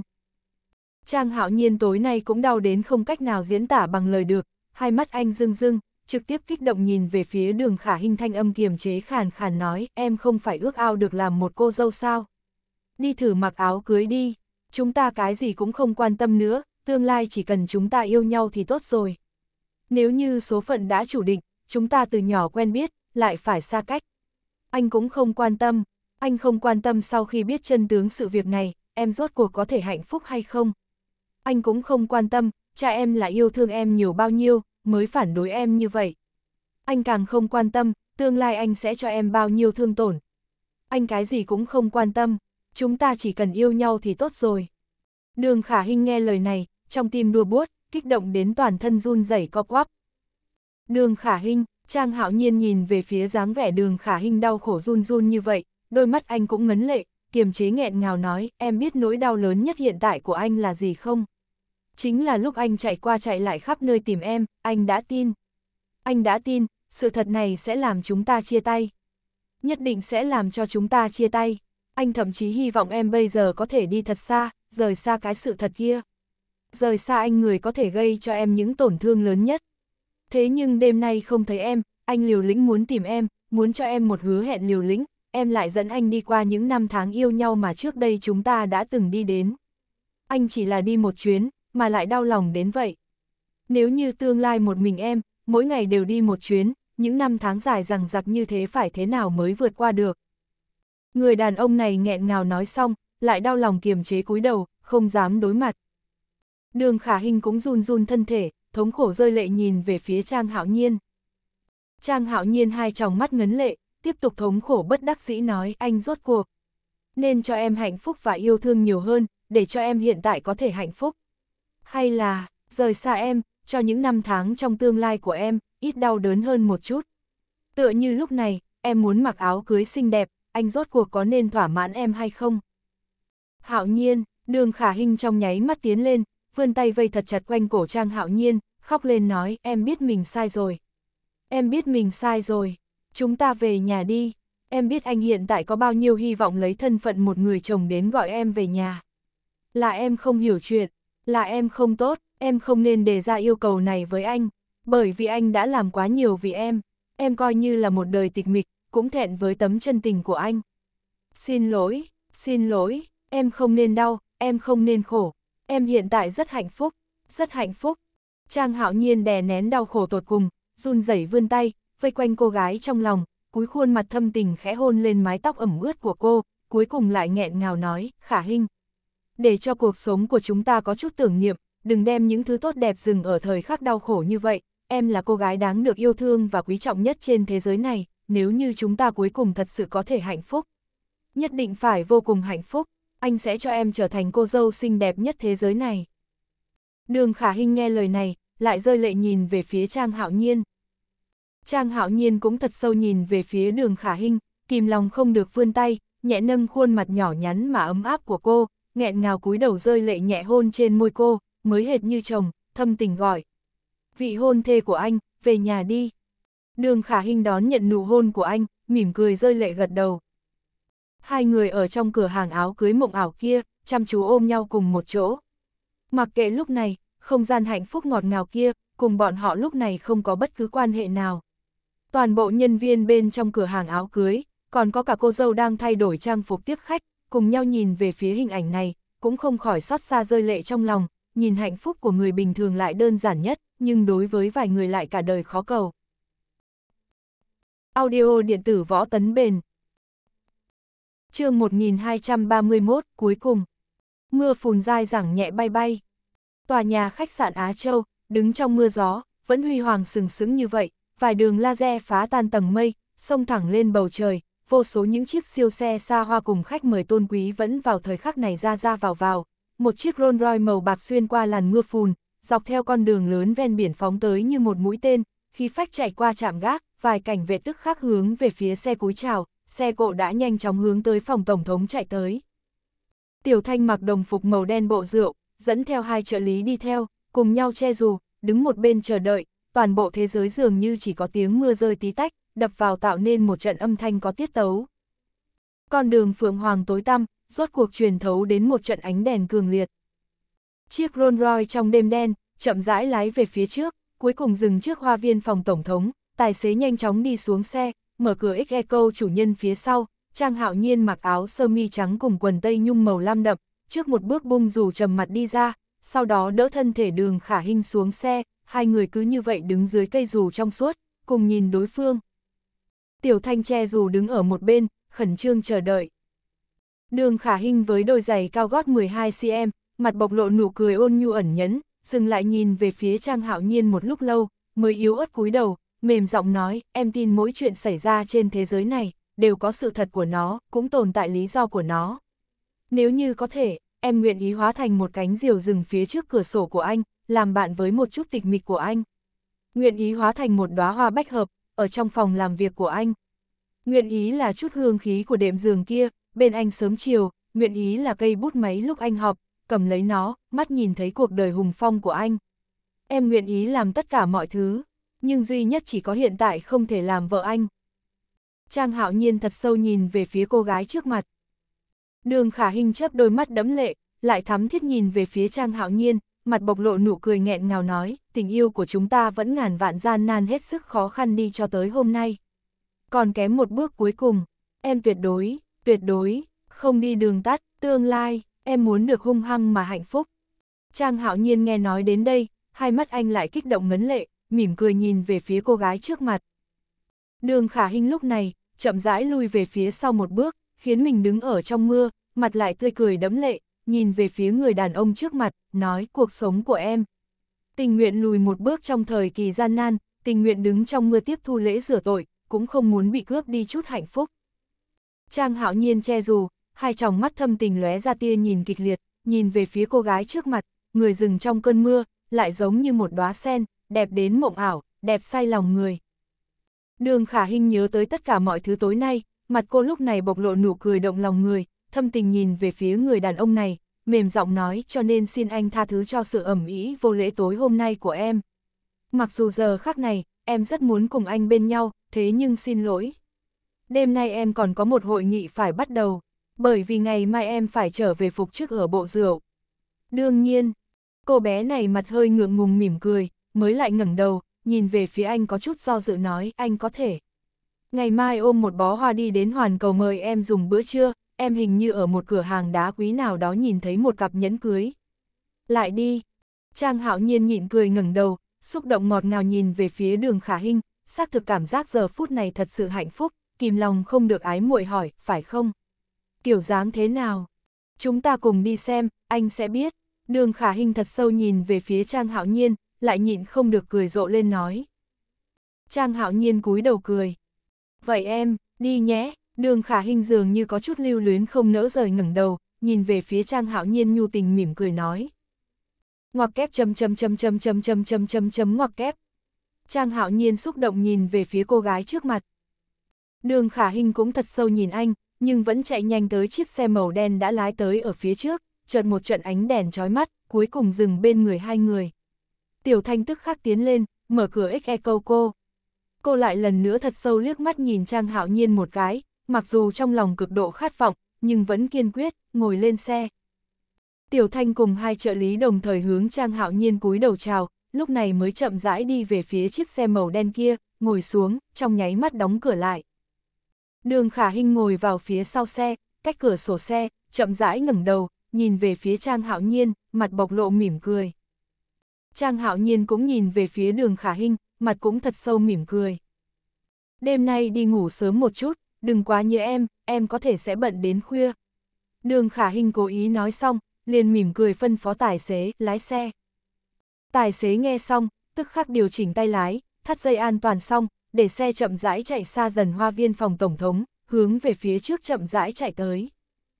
Đường khả hình ngồi ở trong xe, nhìn thân ảnh màu trắng của Trang Hạo Nhiên bên trong gương chiếu hậu, mặt cô lộ vẻ khiến người ta tự tin cùng phấn chấn, dường như mang theo chút cố chấp nói. Trang Hạo Nhiên, cuối cùng có một ngày, em muốn hướng đến toàn bộ phụ nữ trên toàn thế giới công khai tuyên bố chủ quyền của em. Em muốn mặc áo cưới xinh đẹp nhất, đeo nhẫn cưới xinh đẹp nhất, hung hăng hạnh phúc, em không bao giờ lại muốn hướng số phận mà tiểu tùy cúi đầu. Trang Hạo Nhiên đứng trong mưa bụi, hai tròng mắt kịch liệt lóe ra, nhìn xe từ từ lái vào trong bóng tối, lại dường như nghe được thanh âm cố chấp mà đáng yêu, mặt không khỏi bộc lộ một nụ cười ngọt ngào mà hạnh phúc. Di động lúc này, chợt vang lên. Trang hạo nhiên vẫn còn chìm đắm trong thế giới của tình yêu, nghe thấy di động vang lên, anh hơi ngạc nhiên lấy điện thoại ra, ấn nhận cuộc gọi lên tiếng trả lời, alo. Phòng khách phòng bệnh nào đó. Tô Lạc Hoành ngồi trên sofa, mặt bộc lộ thần sắc kích động, hai tay nhanh chóng gõ bàn phím, nhìn về phía một nhóm tư liệu cuối cùng về vụ án đường trí long phóng hỏa giữa màn hình lớn, sắp sửa trải qua màn phá giải của mình, chậm rãi truyền vào kho tư liệu của mình, lãnh mặc hàn cầm di động, đứng ở một bên, nhìn thân thể em gái đã khôi phục rất tốt, cô đang ngồi trên xe lăn, mặc trang phục bệnh nhân, mặt lộ vẻ chuyên chú, nhìn chằm chằm những hình ảnh về vụ phóng hỏa đã được in ra đặt trên mặt bàn. Lạc Hoành đang chuẩn bị đem một nhóm tư liệu cuối cùng trong sở cảnh sát truyền tới. Nhưng chỉ sợ sau đó khôi phục có chút chậm, anh có thể còn phải tìm tịnh kỳ nhờ giúp một chút. Thủ tướng mặc dù đã hết nhiệm kỳ, nhưng cô ấy vẫn còn nhậm chức. Anh cầm di động, trầm giọng nói. Trang hạo nhiên cầm di động, hai tròng mắt sắc bén chợt lóe, ngưng lại một hồi, mới đáp lại, ừ. Tình hình điều tra sơ bộ ra sao? Lãnh mặc hàn trầm mặt, nhàn nhạt nói, vẫn không thể xác định. Dù sao đây chỉ là vụ phóng hỏa mấy chục năm, thế nhưng tôi đã cử Thái Hiền đi điều tra tư liệu cũng không khác nhau lắm. Bất kỳ sự vật gì, đều chạy không khỏi những suy luận có tính logic. Chỉ cần không hợp lý, chính là không thành lập. Tôi nghĩ lúc đó Chu Lệ Bình tra án hẳn là cũng thập phần chính xác. Cũng không rõ ràng lắm có thể tra ra thứ gì hay không. Thế nhưng, muốn biết chân tướng xác thực có phải chủ tịch đường phóng hỏa hay không? Thật sự rất nhanh. Bao lâu, Trang Hạo Nhiên nhanh chóng hỏi. Đêm nay đến sáng mai, lãnh mặc hàn cơ hồ khẳng định nói. Trang Hạo Nhiên hai tròng mắt lóe lên, cầm di động, dừng lại một chút. Hạo Nhiên, lãnh mặc hàn do dự một hồi, cảm giác được có chuyện không tốt phát sinh, anh nhiều ngày như vậy cũng không thể sắp xếp lý giải được loại cảm giác này, yếu ớt hỏi anh muốn điều tra sự thật như vậy. Là đúng đắn chứ? Trang hạo nhiên nghe lời này, mặt tươi cười, ngữ khí có lực nói, đại bộ phận người trên thế giới này vì lo lắng trước mắt, muốn biết đáp án, là vì hiếu kỳ. Nhưng tôi nhất định phải biết đáp án này, là vì trách nhiệm, mặc kệ tương lai là vực sâu, hay là miệng hổ, tôi đều phải bước vào. Tôi không e ngại sự hồi hộp, tôi càng không sợ vực sâu. Tôi không thích nhất chính là, không hiểu rõ ràng. Lãnh mặc hàn nghe, trong lòng đã có đáp án, chậm rãi gật đầu, nói tôi hiểu được. Xem ra anh đúng là phải làm tổng giám đốc. Trang hạo nhiên chậm rãi cười, tạm thời không có tâm tình đàm luận chuyện khác, chỉ cứng rắn mà có lực nói, hãy mau đem sự thật điều tra ra. Tôi cần phải biết sự thật này. Hiểu rồi, lãnh mặc hàn trực tiếp cúp điện thoại, xoay người nhìn về phía em gái, nói, bắt đầu đi. Uyển Thanh mặt hơi tiều tụy, hai tròng mắt lại lợi hại lóe ra, gật gật đầu. chương 1232, Hồ Điệp. Sáng sớm hôm sau, ánh mặt trời tỏa ra thứ ánh sáng chói lóa, soi sáng khắp thành phố Hoa Lệ một cách rõ ràng, toàn bộ tòa nhà kiến trúc cao nhất, cùng với khu thi đấu thể thao cao ngất trời, tòa tháp báo hiệu đã gần 9 giờ sáng, chậm rãi mà khí thế hướng chân trời xoay tròn, mà tập đoàn Hoàn Cầu chiếm vị trí địa lý tốt nhất trung tâm thành phố, cũng khí phách sừng sướng dưới chân trời, trước không cần phải nói về khí thế hào hùng của tòa nhà này, chỉ cần đề cập đến con đường thương mại thuộc Hoàn Cầu kia. Đây là một trong những công lao đáng kiêu ngạo nhất của tưởng lão. Một chiếc Mercedes màu bạc chạy nhanh, chậm rãi từ con đường trung tâm thị chính hiển hách lái tới, trải qua vô số tòa cao ốc kinh điển và cửa hàng thời trang xa xỉ đẳng cấp quốc tế, cuối cùng chậm rãi dừng trước cầu thang cao ốc hoàn cầu, Tiểu Thanh mặc đồng phục đen rượu vụ, bên trong sơ mi xanh, tóc búi cao tao nhã, dẫn theo 8 nhân viên nam nữ rượu vụ thập phần tôn kính từ cầu thang ngọc bích của hoàn cầu cất bước xuống, nhanh chóng đi tới trước chiếc xe, mở cửa xe, mặt mỉm cười mềm giọng gọi, đương tiểu thư. Một trận mùi hương nước hoa coco khí phách nhẹ nhàng tỏa ra. Đường khả hình mặc quần đùi đen kết hợp chiếc áo sơ mi gen cao cổ đỏ thấm, bên ngoài khoác âu phục đen ngắn ôm sát người, mang giày cao gót la mã màu đen, tóc buộc kiểu đuôi ngựa, mặt lộ ra nụ cười mê người đi xuống xe, đón gió lạnh cuối thu, nhận lấy túi sách công văn màu đỏ thẫm mà Tiểu Thanh đưa tới cho cô, hai tròng mắt lóe ra ánh nhìn tinh nhuệ, liếc mắt nhìn trên bao công văn của mình có treo một chùm nho bằng vàng ròng, liền nhàn nhạt nói câu, đi thôi. Mọi người lập tức tôn kính nhường đường. Đường khả hình liền dẫn Tiểu Thanh cùng các nhân viên rượu vụ mang theo khí thế oai nghiêm, từ từ đi lên cầu thang, đi vào phòng khách huy hoàng của hoàn cầu, vài nhân viên lễ tân mặc chế phục trắng trước quầy đón khách, nhìn thấy đường khả hình của bộ rượu với tư thế oai hùng hiên ngang xuất hiện, các cô tức khác nhau nhau đứng lên, hướng về phía cô tôn kính khom người hạ lễ, các nhân viên ra vào hoàn cầu nhìn thấy cô, cũng tức khắc tôn kính dừng bên cạnh đại sảnh, khẽ gật đầu chào hỏi. Đường khả hình dẫn theo nhân viên bước qua các đồng nghiệp bên cạnh, mặt mỉm cười gật gật đầu, liền trực tiếp đi vào bên trong thang máy, tiểu thanh đơn độc đi vào theo, nhấn thang máy tầng cao nhất rượu vụ, cửa thang máy nhanh chóng đóng lại, sau đó hướng trên lầu chạy thẳng lên. Các nhân viên lễ tân cùng nhân viên khác trong đại sảnh thấy cửa thang máy vừa đóng lại, liền nhao nhao bàn luận về biểu hiện đặc sắc của đường khả hình trong trận thi đấu rượu hôm qua, thế nhưng mới vừa thi đấu xong, hôm nay liền lập tức phục chức. Tốc độ này thật sự là quá nhanh, nghe nói Vitus tiên sinh thân thể khó chịu, có ý muốn để cho học trò nhậm chức vụ tổng quản rượu vụ hoàn cầu. Xôn sao, trẻ tuổi như vậy mà được đảm nhận chức vụ tổng quản rượu vụ hoàn cầu sao? Có một nữ nhân viên lễ tân trước quầy tuổi chừng hơn 20, cô nghe thấy tin tức này, trái tim không khỏi một trận bang bang đập loạn, quả thực kinh ngạc kêu lên nói, thế nhưng làm tổng quản rượu vụ hoàn cầu, có bao nhiêu rượu trang đẳng cấp muốn hợp tác với cô ấy a? À? Một chữ ký cũng chính là chuyện trọng đại a. À. Thật là quá hâm mộ, tôi hôm qua muốn mua một chiếc túi sách Miu Miu, cũng suy tính thật lâu. Cô có thấy chiếc túi sách cô ấy cầm không? Nó được chế tạo bởi Hoàng cung Pháp, chiếc áo sơ mi gen đỏ thấm cô ấy mặc, là nhà thiết kế Hoàng thất Anh quốc tự tay may, toàn cầu chỉ có một cái. Dùng tơ tầm đệ nhất thiên hại, chứ đừng nói chi là bộ âu phục nhỏ kia của cô ấy. Thật là quá đẹp, từng đường nét đều làm nên khí phách thời thượng. Đúng vậy đúng vậy, thật là hâm mộ chết đi được, nếu như tôi có thể giống như cô ấy, độc thân tôi cũng nguyện ý. Có một nữ nhân viên lễ tân lập tức vươn tay, che mặt nước nước nở nở nói. Cái gì độc thân, có một nữ đồng nghiệp nhìn cô nói, nghe nói cô ấy và nhị thiếu gia tưởng của tập đoàn Á Châu chúng ta truyền ra xì căng đan. Thực sự a vậy thực sự khiến chúng ta nhảy lầu a mấy nữ nhân viên thật sự rất rất hâm mộ dậm chân nói.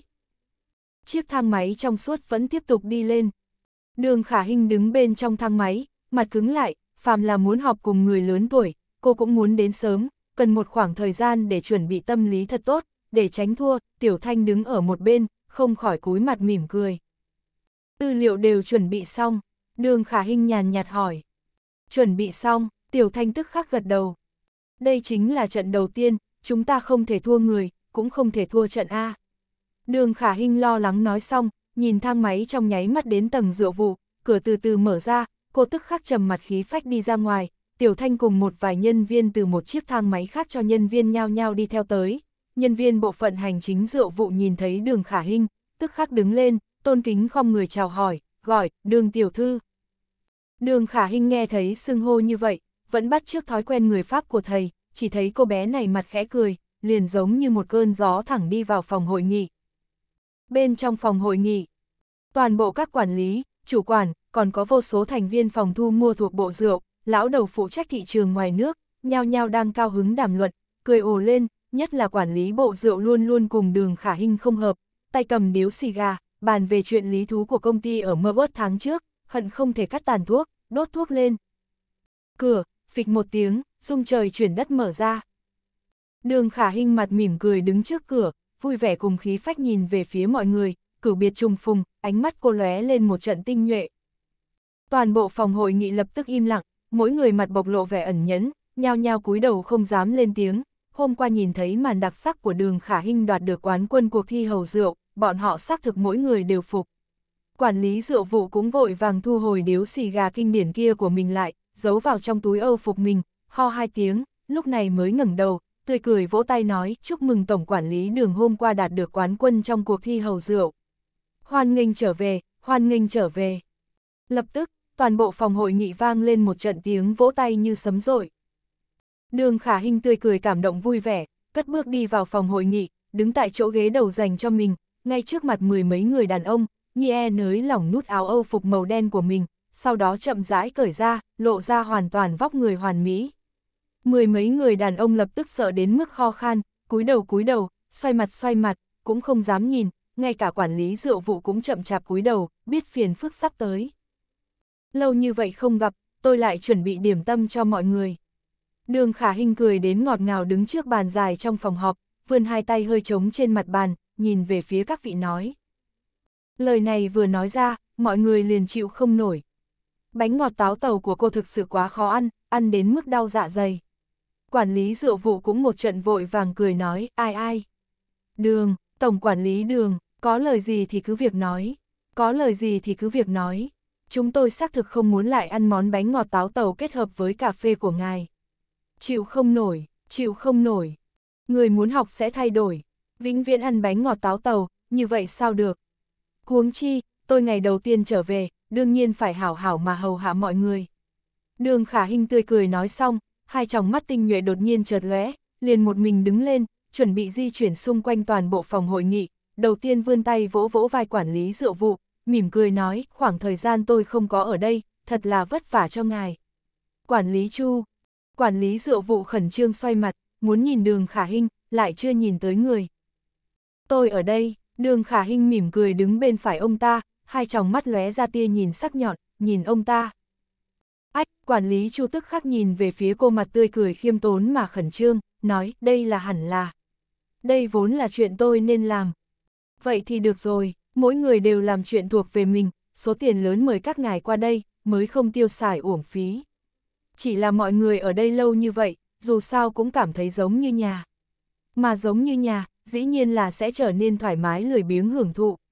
Đường khả hình đi một vòng quanh phòng họp, lúc này mới nhanh chóng đi tới trước chỗ ngồi của mình, khí phách ngồi xuống, Tiểu Thanh đã sai người đem toàn bộ văn kiện đưa đến trước mặt cô, bày ra, theo bầu không khí càng ngày càng căng thẳng này, mấy viên chức cũng đã đem từng phần bánh ngọt trà xanh thủy tinh, phối với nước trà liễu đắng, mọi thứ đưa đến trước mặt các quản lý cấp cao bộ rượu. Mọi người nhao nhao nhăn mặt nhìn thấy bánh ngọt trà xanh thủy tinh cùng với trà liễu, đây không phải là một sự phối hợp chết người sao. Đường khả hình ngước mí mắt liếc nhìn mỗi người một cái, cô lúc này mới thực sự thu hồi sắc mặt, để cho hai trợ lý nhanh chóng mở màn hình LCD phía sau, cho thấy số liệu doanh tiêu kế hoạch gần đây của rượu vụ. Chính cô thì mặt lạnh cầm lên phần văn kiện thứ nhất, chuẩn bị ném tới trước mặt quản lý rượu vụ, nhanh chóng nói, phần văn kiện này là trong khoảng thời gian tôi không ở nhiệm kỳ, quản lý chu ngài đến rượu trang các quốc gia trên thế giới, lúc có kế hoạch thu mua các loại rượu nho kinh điển, ông tiêu hao chi phí chung so với năm trước hơn 200%, thế nhưng ông thậm chí ngay cả một chai ST.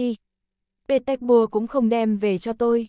Lúc đó tôi liền suy nghĩ, chủ rượu trang ấy vốn nổi danh là tính tình cổ quái, hơn nữa ông ấy cùng với Lafitte hàng năm đều nỗ lực chiến đấu.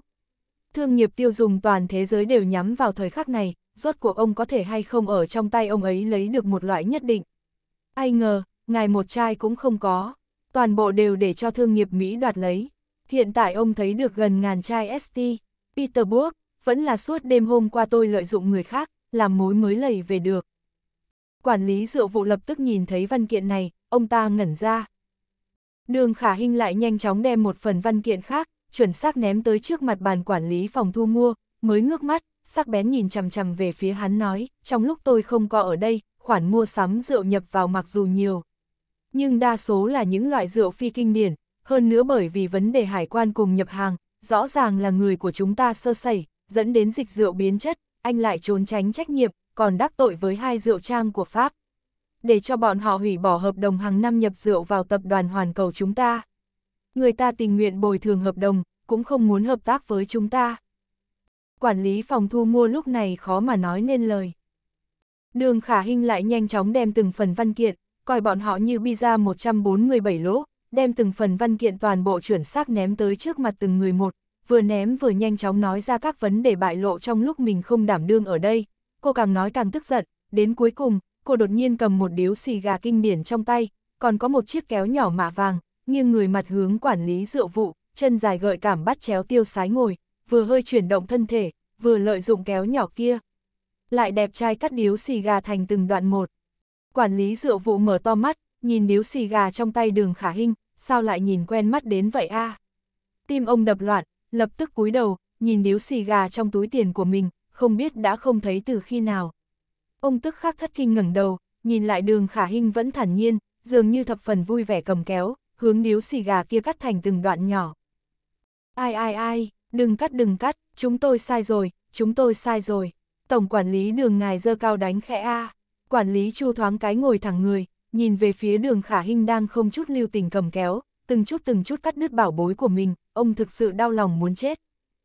Tôi đâu, đường khả hình cầm điếu xì gà lên, lấy thái độ thập phần chuyên nghiệp của một chuyên gia hầu rượu, nhìn trái nhìn phải, mới yếu ớt nói, tôi vốn là một người rất dễ gần, cũng biết làm người luôn có khuyết điểm.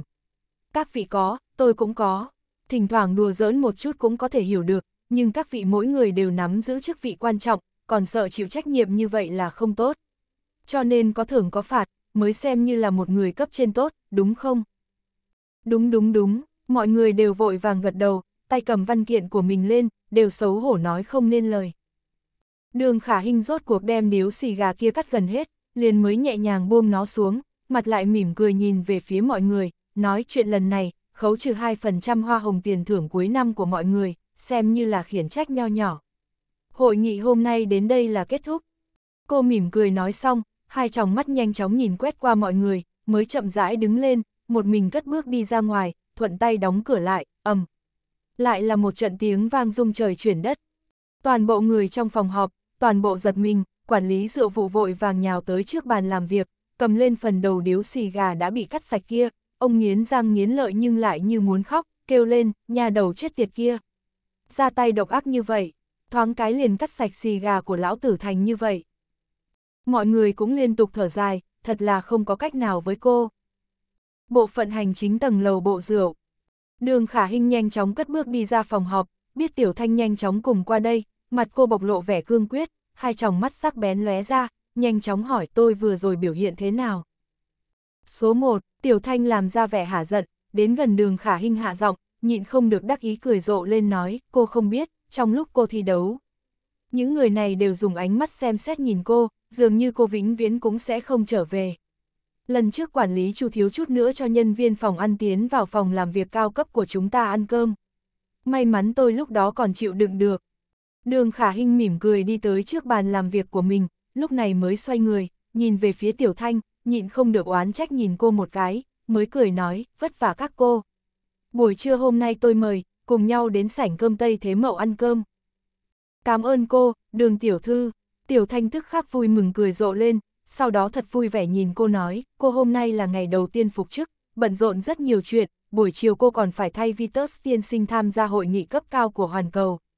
Tôi đã đem lịch trình, còn có văn kiện cần cô phê duyệt, đặt ở phòng làm việc của cô. Được, cảm ơn cô, giúp tôi chuẩn bị một ly cà phê, tối hôm qua ngủ không được ngon. Đường khả Hinh mỉm cười nói xong, liền một mình xoay người đẩy cửa phòng làm việc ra, trong nháy mắt nhìn thấy lá cây bên cửa sổ thủy tinh, ánh mặt trời sáng bóng xuyên qua cửa sổ thủy tinh, chiếc bàn làm việc thời thượng, còn đặt quả táo nhỏ trang trí, máy tích sách tay, văn kiện, còn có sofa trắng thoải mái ở phía trước, mỗi cách bài trí cũng không có gì thay đổi.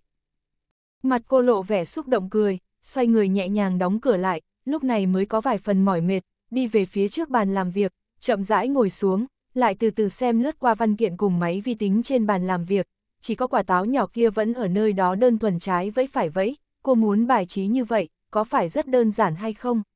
Tiếng gõ cửa lập tức vang lên. Cô chậm rãi ngẩng đầu, kêu một tiếng, tiến vào. Tiểu Thanh mỉm cười đi tới, trước lệnh cho trợ lý đem cà phê đường khả hình yêu thích uống đặt xuống, lúc này mới đặt chiếc hộp màu tím sẫm đặt bên cạnh, nói đây là lễ vật tổng giám đốc tưởng vừa sai người đưa tới, mừng cô phục chức. Đường khả hình hơi giật mình, kìm lòng không được mặt bộc lộ tươi cười vươn tay, tiếp nhận phần lễ vật này, trước hết ôn nhu quan sát lễ vật, giống như chủ nhân của nó, sâu sắc, trách nhiệm, mà trầm tính. Tay cô nhẹ vuốt mặt nhung của chiếc hộp, phân phó các cô ra ngoài, nghe thấy tiếng cửa khép lại, cô mới nhẹ nhàng mở giấy đóng gói chiếc hộp nhung ra, mở nắp hộp, cô hơi giật mình nhìn bên trong, cư nhiên chỉ là một chiếc khung ảnh mạ vàng kiểu Âu đơn giản, bên trong là ảnh chụp chính mình hôm qua lúc đạt quán quân trận thi đấu lớn, mặc trang phục kỵ sĩ màu đỏ thẫm, đứng giữa sân khấu, mặt ngọt tươi cười. Cô hơi đánh chống ngực, thật sâu nhìn về phía mình trong khung ảnh, hai tròng mắt không khỏi đỏ bừng, nghe nói vì mình có thể độc hưởng tiếng vỗ tay trên sân khấu, tưởng thiên lỗi đã trả giá rất nhiều rất nhiều, bao gồm việc đứng giữa mình cùng Trang Hạo Nhiên, vẫn khẩn trương nhắc nhở, cùng nắm đại cục trong tay. Một trận cảm kích bỗng nhiên nảy sinh, mặt cô cuối cùng nghẹn ngào tươi cười, vươn tay nhẹ chạm vào ảnh chụp chính mình đang ngọt ngào tươi cười kia. Dường như tất cả đều nhắc nhở, nỗ lực như vậy, là vì ngày mai tốt hơn. Nếu như vận mệnh đã định trước chính mình không tầm thường, như vậy liền trải qua cuộc sống không tầm thường như vậy đi. Cô bé này, chậm rãi ngẩng đầu, nhìn về phía bầu trời xanh thẳm cùng áng mây trắng nhẹ nhàng trôi bên ngoài cửa sổ, mặt lại bộc lộ nụ cười tràn ngập sức sống, mềm giọng nói, Trang Hạo Nhiên. Anh yên tâm, mặc kệ phát sinh bất cứ chuyện gì, em đều muốn cho anh biết, một mình em cũng có thể sống thật tốt. Anh cái gì cũng không cần nghĩ, chỉ cần yêu em là đủ rồi. Chỉ cần đến yêu em là đủ rồi. Mọi thứ thuộc về em, chính em sẽ chịu trách nhiệm. Bầu trời xanh thẳm, vậy mà hưởng ứng cô bé này ôn nhu kêu gọi, thổi qua một cánh diều đầy màu sắc như hồ điệp. Đường khả hình cảm giác quái dị nhìn về phía cánh diều kia, nghĩ ai lại vào lúc cuối thu này, để cho hồ điệp bay. Cô nhìn cánh diều chậm chạp bay trong gió kia, lòng có chút ấm áp. Tiếng gõ cửa lập tức vang lên, cô vẫn còn chìm đắm trong cánh diều mỹ lệ ấy, nhưng vẫn lên tiếng trả lời tiến vào. Tiểu thanh bộc lộ thần sắc quái dị, chậm rãi đi tới, kinh ngạc nhìn về phía đường khả hình. chương 1233, không có trở ngại. Cửa phòng làm việc, phịch một tiếng mở ra. Đường khả hình vẫn như cũ mặc áo sơ mi màu hồng cùng váy ngắn màu đen, ôm vai, mặt bộc lộ biểu tình nghi hoặc cùng cổ quái, đi ra phòng làm việc của mình, lập tức nhắc mí mắt, nhìn tất cả nhân viên bộ phận hành chính trước mặt, cô vừa muốn đi tới, mấy nhân viên bộ phận thị trường, nhìn thấy chính mình nhao nhao kinh ngạc trừng mắt, vội vã cầm văn kiện đi vào bên trong phòng làm việc của mình, xung quanh toái toái ngữ thanh âm kinh ngạc, trận trận lại có vẻ im lặng truyền đến. Đường khả hình mắt một mị, ứ sắc mặt, đưa mắt nhìn trái nhìn phải, cảm giác được ánh mắt của mọi người, tựa như cá trạch trượt đến đi vòng quanh, lại thực sự không biết là vấn đề gì, liền chỉ phải xoay người, nhìn về phía Tiểu Thanh, trực tiếp dùng ánh mắt hỏi, chuyện gì xảy ra. Tiểu Thanh cũng nhịn cười nhìn về phía đường khả hình, nhưng vẫn là bộ dáng muốn nói lại thôi. Đường khả hình bất đắc dĩ sâu nhắm mắt lại, thở dốc một chút, biểu tình mới một bộ tàn bạo, đi thẳng đến trước mặt nhân viên, nói các người ai dám đem sự tình giấu tôi, tôi sẽ đem phần chăn hoa hồng của các người, toàn bộ trừ hết. Toàn bộ nhân viên hành chính nghe lời này, lập tức trong nháy mắt sợ hãi dơ cao tờ báo do tổng bộ vừa mới đưa đến. Mà bốn màn hình giữa đại sảnh, cũng trong nháy mắt sáng lên hình ảnh quảng cáo đến từ toàn thế giới cao cấp nhất. Đường khả hình hơi giật mình, nghi ngờ mở to mắt nhìn về phía các đồng nghiệp đồng thời dơ tờ báo lên, mặt còn là bộc lộ thái độ mờ mịt, chậm rãi từng bước một đến gần nhân viên đang dơ lên tờ báo thế giới, có đến từ nước Mỹ, Pháp, Italy, Anh Quốc, Hy Lạp, Nhật Bản, thậm chí báo chí Trung Quốc, toàn bộ trang báo cư nhiên tất cả đều là một cô gái mặc váy dài tuyết trắng mỹ lệ, tóc dài quá vai, trên đầu mang vòng hoa mộng ảo, tay đang cầm hoa cầu, đứng ở giữa huyến lệ khói lửa, bộc lộ ngọt tươi cười, lúc nhìn kỹ phương xa. Dường như nhìn thấy hình ảnh người yêu, mà trang báo thình lình sáng một loạt chữ, khả hình, vật nhỏ của anh, cuối cùng hôm nay anh có thể hướng toàn thế giới tuyên bố I love you. Đường khả hình tức khắc mở to mắt, không thể tưởng ra đi tới trước báo chí Anh Quốc, vẫn như cũng không dám tin nhìn về phía trên trang báo thình lình xuất hiện thân ảnh mỹ lệ của mình. Cô cả người còn đang ở giữa nghi hoặc cùng khiếp sợ, lại nghe thấy giữa màn hình tinh thể lỏng truyền đến hình ảnh, cô trong nháy mắt ngẩng đầu, nhìn biển quảng cáo từ tầng trệt cao cấp nhất Anh Quốc, vang lên biến tấu khúc Clementine, lãng mạn mà thâm tình, trong chóng gió màu tím xoay tròn, lại đưa tới trang hạo nhiên thâm tình biểu lộ phụ đề, vật nhỏ, vô luận ở chân trời góc bể nào, anh nguyện ý bị em trói buộc. Này, cô bé này trong nháy mắt tất cả bị bất thình lình, đầu xoay đến vòng vòng, còn chưa kịp vui sướng cùng kích động, hai mắt cũng đã nhanh chóng có chút ánh lệ, sâu thở phì phò, không biết nên làm thế nào mới tốt. Lúc này, tất cả các nhà quảng cáo cao cấp nhất thế giới châu Âu cùng Á Châu, toàn bộ cũng bắt đầu từ từ theo bất đồng thời không thay đổi, nhao nhao phát hình ảnh Trang Hạo Nhiên đánh đàn dương cầm biểu lộ tình cảm, thậm chí ở Nhật Bản cùng Hàn Quốc, vô số các thiếu nữ cùng người yêu, nhao nhao kinh ngạc đứng ở trước nơi quảng cáo, hết sức cảm động nhìn về phía hình ảnh này, đều kinh ngạc Trang Hạo Nhiên, trên cái thế giới này người đàn ông phương Đông chính là hoàn mỹ nhất, nghiêng mặt ngồi ở trước dương cầm thâm tình mị lực. Ôn nhu làm cho người khác thật cảm động, nhiều thiếu nữ thật hâm mộ hai tay giao nắm nghĩ, cô gái có thể được một người đàn ông hoàn mỹ như vậy biểu lộ là ai. Tay, nhẹ nhàng nhéo chặt lấy trái tim. Đường khả hình nhanh chóng lưu chuyển hai tròng mắt, nhìn về phía hình ảnh Mỹ lệ trước mặt mà khiếp sợ, cô kích động hai mắt hồng lên, nói không nên lời. Đường tiểu thư, mau đi xuống đi, có người ở dưới lầu, chờ đã lâu. Tiểu Thanh cũng cảm động đi về phía đường khả Hinh mỉm cười nói. Đường khả Hinh trong nháy mắt xoay người, kích động liếc mắt nhìn Tiểu Thanh, lúc này mặt mới bộc lộ kinh hỉ tươi cười, nhanh chóng cất bước đi về phía thang máy, tự mình vươn tay, run run rẩy rẩy đè xuống nút thang máy, cả người cảm giác được cước bộ phập phình đi vào bên trong thang máy, hai mắt không khỏi hồng lên, trầm thở phì phò chờ đợi. Thang máy trong suốt, nhanh chóng đi xuống, rốt cuộc đinh một tiếng, mở ra. Toàn bộ nhân viên hoàn cầu, bao gồm trước sân khấu tiếp đãi mấy vị nữ hài, nhao nhao ngẩng đầu, nhìn về phía người tới rất kinh ngạc cùng hâm mộ cảm động cười, ở trên đại sảnh hoàn cầu đang phát hình ảnh công ty con trên thế giới. Lúc này tất cả đều là quảng cáo tán tỉnh của Trang Hạo Nhiên đến từ toàn thế giới, thực sự để phụ nữ toàn thế giới như vậy cảm động cùng đố kỵ A. Đường khả hình trạng thái vẫn như cũ lộ ra gần như hít thở không thông, hai mắt run rẩy kích động, bước từng bước một khẩn trương đi ra thang máy, lập tức nhìn thấy ngoài đại sảnh đã bay đếm không hết diều hồ điệp, còn có mộng mộng ảo huyễn hơn màu bọt biển, tất cả đều rực rỡ phiêu nhiên dựng lên, dường như thành phố này không còn là lạnh như băng, mà là như vậy ấm áp vì có thế giới tình yêu.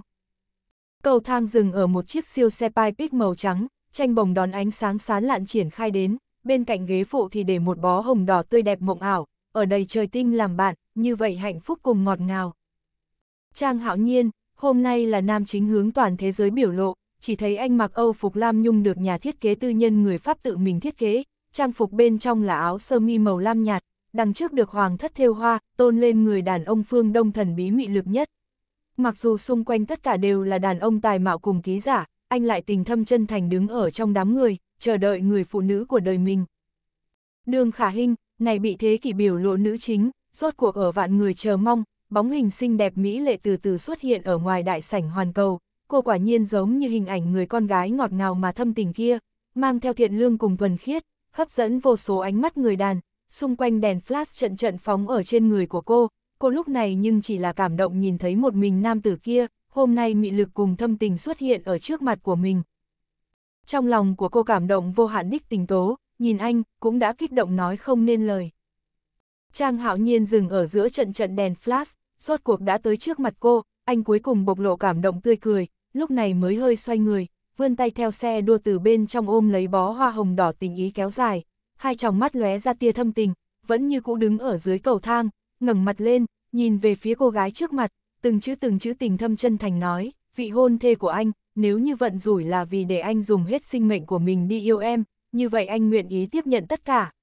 Anh nguyện ý đem chính anh, chú tâm giao cho em. Vô luận đi đến chân trời góc biển nào, anh đều nguyện ý bị em trói buộc. Đúng vậy, lúc này, vô luận kết quả thế nào, chúng ta đều cần nắm chắc thời gian đi yêu. Bởi vì một đời là như vậy quá ngắn. Đường khả hình nghe lời này giống như biểu lộ cầu hôn, hai tròng mắt của cô nhanh chóng tràn đầy ánh lệ, nhìn thật sâu về phía nam tử trước mặt. Trang hạo nhiên tiếp tục như vậy thâm tình nhìn về phía đường khả hình, ở trận trận kịch liệt đèn flash phóng tới, anh lại ôn nhu nhìn về phía nữ hải trước mặt, nói thân ái, để chúng ta cùng nhau ôm thời gian đi yêu nhau. Chúng ta cùng đi sáng tạo nhiều hồi ức hơn nữa, để chúng ta mỗi lần quay đầu lại, nhìn thấy đều là tràn đầy hạnh phúc cùng tình yêu. Dù cho tương lai, em lui một bước, còn là rơi vào vòng xoáy tình yêu của anh. Xin cho anh đem tình yêu một đời, toàn bộ ở một ngày đến yêu em. Hôm nay như vậy, ngày mai như vậy, mỗi ngày đều như vậy. Tương lai, anh sẽ đi vào giấc mộng sau em, sáng tỉnh lại trước em, trước em một bước già đi, sớm một bước chuyển thế. Vô luận kiếp này hoặc kiếp sau, anh vĩnh viễn canh gác cho em, chờ đợi em, bảo vệ em. Mọi người trên cả con đường, nghe lời tỏ tình này, một trận ổ lên. Đường khả hình cũng cảm động nhìn về phía Trang Hạo Nhiên, mặt không khỏi tràn đầy nụ cười hạnh phúc nghẹn ngào. Toàn bộ nhân viên hoàn cầu, trên đường cả người đi đường, chúng ký giả, mỗi người đều phấn khởi dơ máy ảnh, có cả di động, nhao nhao chụp một màn kinh điển này, có một số sinh viên còn nhanh chóng đăng tải trên điện thoại di động. Chuyện tình yêu của hai người, cư toàn quốc đệ nhất, thậm chí đăng tải lên trang web đứng thứ ba thế giới, lúc mỗi người các cô nhao nhao phát, đều ồ lên nuốt nghẹn ngào nói, trời ạ. Đây mới thật là quá lãng mạn, biểu lộ thế kỷ A. Trang hạo nhiên ở nơi này thời khắc càng lúc càng hội tụ người xem, mặt anh bộc lộ mị lực mà thâm tình tươi cười, tay cầm bó hồng đỏ tươi đẹp, từ từ cất bước, từng bước một đi lên cầu thang, đi tới trước mặt đường khả hình, trước mặt mọi người, tự mình đem hoa hồng đến trước mặt nữ hài, lúc này mới ôn nhu cúi mặt, thâm tình ái muội ngóng nhìn cô, mang theo hô hoán, mềm giọng nói, khả hình. Vật nhỏ của anh, anh yêu em. Toàn bộ thế giới, chớp mắt rực rỡ hoa nở. Đường khả hình nghẹn ngào nhìn về phía nam tử trước mặt, hai tròng mắt cuối cùng chảy xuống nước mắt, cô vừa ôn nhu kích động nhìn về phía nam tử trước mặt, vừa giống như tân nương ngượng ngùng cùng ngọt ngào, chậm chạp vươn tay, tiếp nhận bó hoa hồng tươi đẹp kia, khi cô cúi đầu nhìn về phía những cánh hoa hồng mộng ảo, từng mảnh đều lộ ra thâm tình cùng mật ý, nước mắt trong nháy mắt lại chảy xuống, mặt bộc lộ thật hạnh phúc cảm động tươi cười. Xung quanh tiếng vỗ tay nhanh chóng rầm rập vang lên, toàn bộ xung quanh hoàn cầu là ký giả cùng mọi người, tất cả đều nhao nhao cảm động vỗ tay cười. Trang hạo nhiên cũng vào lúc này, theo bầu không khí càng lúc càng nhiệt liệt bập, chậm chạp vươn tay đem đường khả hình nhẹ ôm vào trong lòng, đầu tiên là vậy ôn nhu mà thâm tình cúi xuống hôn nhẹ trên trán của cô, cảm thụ được cô bé này nhắm mắt lại lúc này nghinh tiếp nụ hôn, nước mắt chảy xuống, hai tròng mắt anh cũng run rẩy ánh lệ, theo tiếng vỗ tay càng lúc càng có tiết tấu, trận trận vang lên, anh cuối cùng khó cầm lòng được vươn tay, nhẹ vuốt nhẹ khuôn mặt phấn hồng của đường khả hình, ở trên môi no đủ ngọt ngào của cô. Nhẹ nhàng hôn, đường khả hình hai tròng mắt lại run rẩy nước mắt, hạnh phúc đón nụ hôn của anh, thậm chí theo mị lực đầu lưỡi thâm tình của anh nháy mắt xông vào bên trong môi mình, cô cuối cùng cũng liều lính kiếng đầu ngón chân, vây quanh cổ của anh, cùng anh triền miên miên hôn nồng nhiệt. Thậm chí càng hôn càng sâu, càng hôn càng dày đặc. Đúng vậy, vận rủi, khó khăn, thống khổ, bi thương, cho tới bây giờ cũng không phải là lý do ngăn cản tình yêu. Chỉ cần người nguyện ý đi yêu, bất cứ lúc nào chỗ nào, cũng có thể như vậy biểu đạt nhiệt liệt cùng kính dâng chính mình. Yêu một người, không vì bất kỳ lý do gì. Tiếng vỗ tay liệt nhiệt động lòng người, tiếp tục trận trận có tiết tấu vang lên. Trang hạo nhiên càng lúc càng ôm chặt thân thể mềm mại của đường khả hình, đứng ở trước cầu thang, như vậy nóng cháy mà ngọt ngào triền miên ôm hôn, theo tình càng ngày càng sâu, càng ngày càng đậm, hai tròng mắt hai người đồng thời chảy xuống nước mắt. Tương lai, vô luận một khắc kia, bọn họ đều ở trời xanh mây trắng, trước mặt mọi người, như vậy thâm tình ôm hôn. Dù cho ở giữa cách thượng đế một cánh cửa sổ, nhiệt độ bọn họ hôn, cũng có thể xuyên thấu tất cả. chương 1234, dựa vào cái gì? Trang hạo nhiên một màn biểu lộ thế kỷ này, khiến cho cả thế giới một trận khiếp sợ ồ lên, nội bộ hoàn cầu tức thì bị kích thích giống như nổ tung hoa như nhau, nhân viên nhao nhao như đàn kiến đứng xem một màn lang mạn ấn tượng này, hâm mộ bàn luận về đường khả hình thật đúng là người phụ nữ hạnh phúc nhất thế giới, ngay cả nhã tuệ là bạn tốt của đường khả hình, trong nháy mắt cũng thành người ảm chứng của hoàn cầu, Trần Mạn Hồng một mình ngồi ở phòng ăn ngự tôn chỗ ngồi lộ thiên, đón gió biển lẫm liệt. Nhìn hơn 10 tờ tạp chí thế giới, toàn bộ mở ra ở trước mặt của mình, cô trơ mắt nhìn toàn bộ trang báo đều là nét chữ thâm tình biểu lộ của Trang Hạo Nhiên, cô bất đắc dĩ cười lắc lắc đầu nói, a có tiền cũng không cần như vậy đốt đi. Nhã tuệ cũng nhanh chóng theo bên trong phòng yến hội đi ra, tay trái cầm báo chí Hy Lạp, tay phải cầm báo chí Anh Quốc, cũng không biết nên làm như thế, mặc dù cảm động, nhưng cũng là một bộ biểu tình muốn khóc, nói, trời ạ. Lần này xài hết bao nhiêu tiền a Lần trước vé máy bay trải đầy phòng, tôi phải lượm một buổi tối mới xong. Vô luận như thế nào, dù sao toàn bộ khách sạn Á Châu một trận sôi trào, liền ngay cả thị trường chứng khoán hoàn cầu, cũng bởi vì màn biểu lộ thế kỷ này, cư nhiên thẳng đường biểu đi lên, cổ đông đều cảm thấy Tổng Giám đốc Hoàn Cầu dám hao tổn tâm tư để thổ lộ một màn thế kỷ này, khẳng định có rất nhiều tiền. Rất nhiều rất nhiều tiền, đây là một tín nhiệm đáng giá cùng tập đoàn đầu tư. Vậy đây cũng là việc hỷ sự, thế nhưng cả thế giới đều vui mừng, chỉ có một người không thích. Người kia chính là phòng làm việc của Tổng Giám Đốc Tưởng.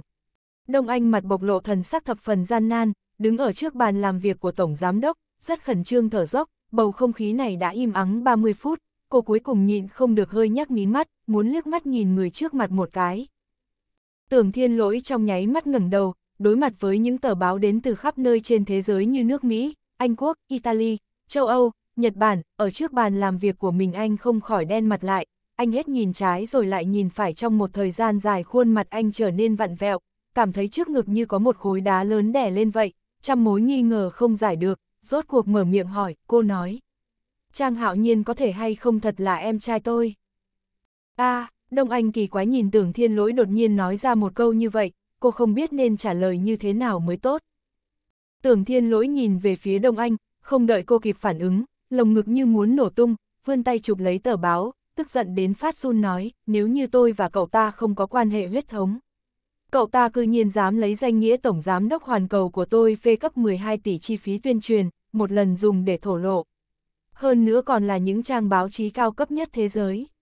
Nếu như không phải anh em, nếu như tôi không phải là anh trai cậu ta, cậu ta dựa vào cái gì đối với tôi như vậy? Cậu ta có tư cách gì đối với tôi như vậy?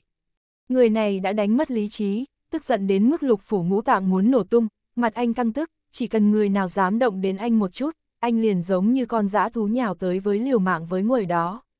Tay nắm chắc một phần báo chí trong đó, giả thiết tờ báo kia chính là Trang Hạo Nhiên, anh lập tức xé người này thành trăm mảnh. Đông Anh nghe lời này, kỳ thực nghĩ nhịn không được cười, nhưng lại không dám cười. Biết đây là chuyện đúng là làm cho người ta tức giận cùng quá mức. Cậu cho rằng tiền dễ kiếm sao? Tưởng thiên lỗi thật là tức giận đến lồng ngực muốn bể ra, hơi ngưng chặt mặt thở dốc, nhớ tới sáng sớm nay đưa cho đường khả hình ghi ương, mặt đúng là không biết xấu hổ không có gì có thể so sánh được. Trang hạo nhiên quả thực chính là coi thường mấy trăm vạn công nhân vì hoàn cầu vất vả cực nhọc, coi thường hết thảy tất cả. Thật là tức chết mà, tức giận đến cả người run lên lần đầu tiên muốn dùng đầu đụng bàn làm việc. Tổng Giám Đốc, anh hãy nguôi giận, xác thực chuyện này, chúng ta cũng không nghĩ tới.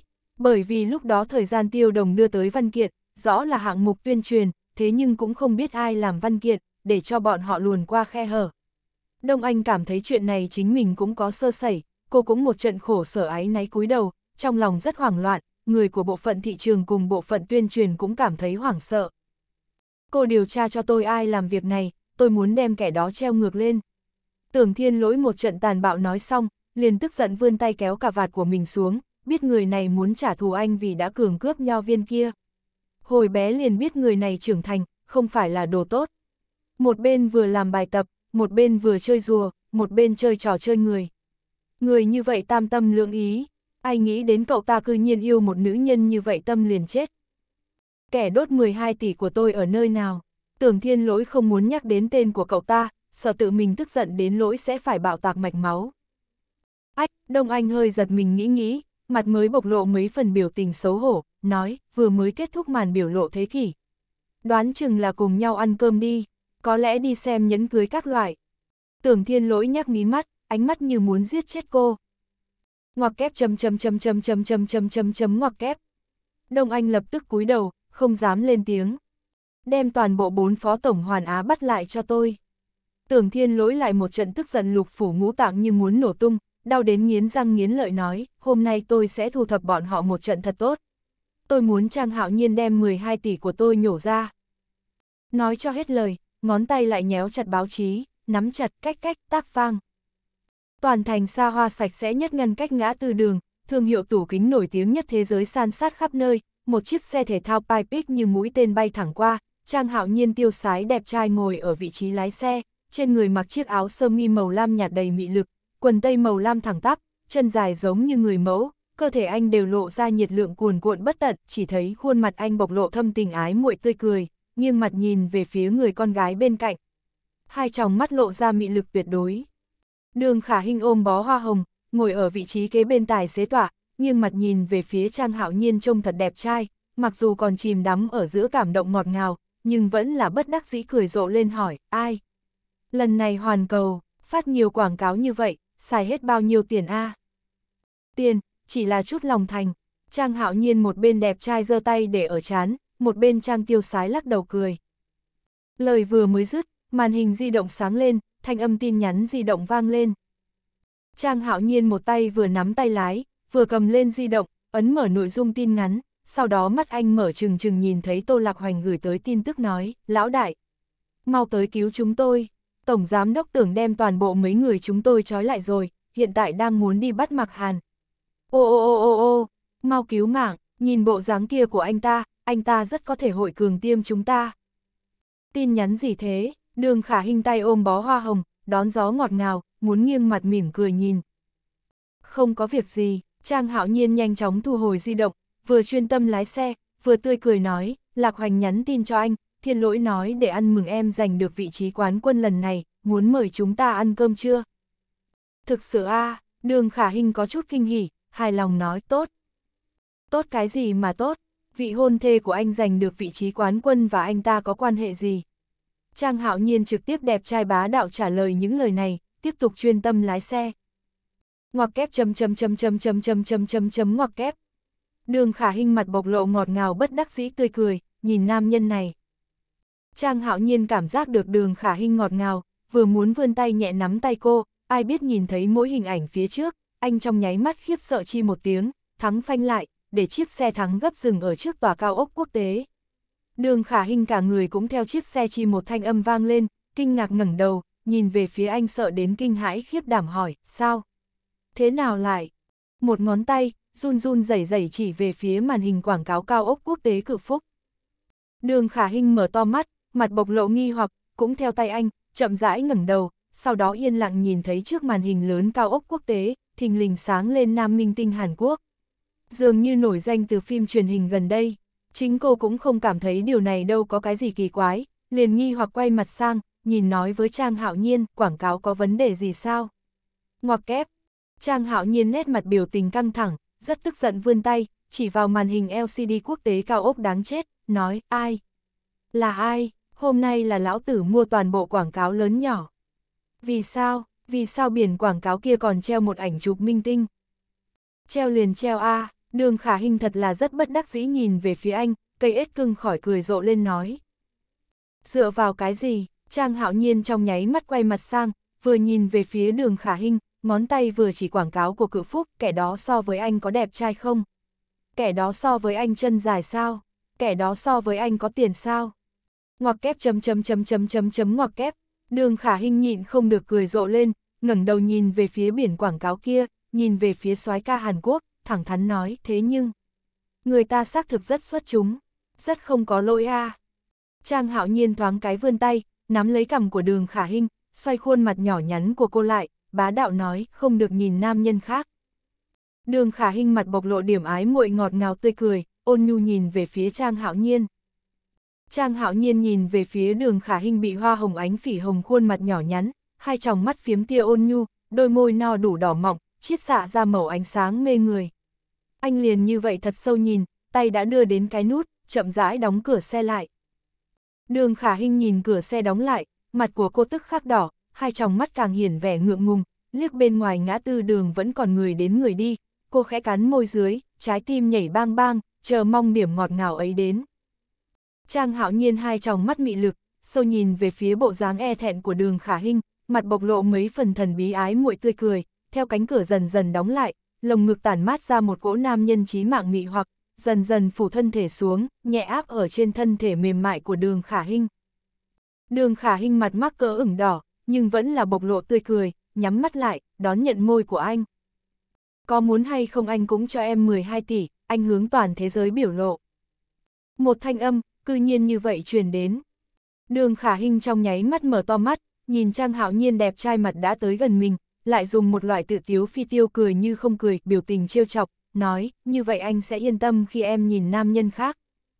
Phốc, em, em vì sao, anh có tiền, em không có tiền, em có 12 tỷ, em đập trên người mình, em còn chụp quảng cáo.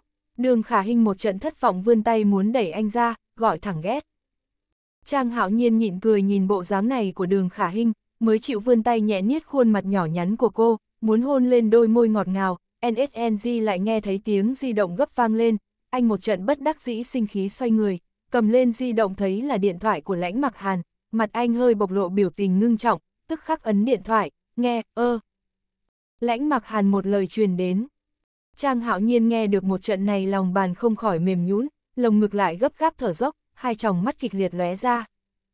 chương 1235 Cửa hiệu trang sức cao cấp nhất thành phố một chiếc Pipex siêu khốc dừng trước bậc thang cửa hiệu.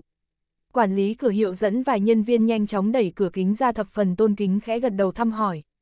Trang hạo nhiên anh Tuấn ngồi vị trí ghế lái toàn thân tỏa ra mị lực thời thượng, trong phạm vi vài chục thước tỏa ra quầng sáng cường đại khiến người qua đường dối giết nhìn chăm chú. Anh dường như lại không cảm thấy mình gây ra sự chú ý chậm rãi quay mặt sang đôi mắt lóe lên quang mang cường liệt nở nụ cười ái muội nhìn sang cô gái bên cạnh, Đường khả hình ngồi ở vị trí kế bên ghế lái cũng nhìn về phía anh mỉm cười. Đi thôi, Trang hạo nhiên trực tiếp trước một bước đi xuống xe hiển lộ chiều cao người mẫu 1m9 có lẽ cường thế của mình, cấp tốc tiêu sái đi tới cửa cạnh ghế lái, tự mình khom người mở cửa xe, nhẹ đỡ đường khả hình đi ra cưng chiều nhẹ ôm cô vào trong lòng. Đường khả hình tựa trong lòng Trang hạo nhiên hơi xấu hổ nhưng vẫn thuận theo anh ôm cùng đi vào cửa hiệu. Cửa hiệu trang sức Hoàng Đình là tiệm trang sức cao cấp nhất toàn cầu, mặc dù được gọi là hoàng đình nhưng thiết kế lại lấy màu đen hiện đại thời thượng làm chủ. Trên mặt tường phục cổ treo đầy ảnh chụp của các phương tử đến từ nước Anh, nước Pháp đang đeo trang sức của tiệm còn có ảnh chụp của người sáng lập ra cửa hàng trang sức Hoàng Đình.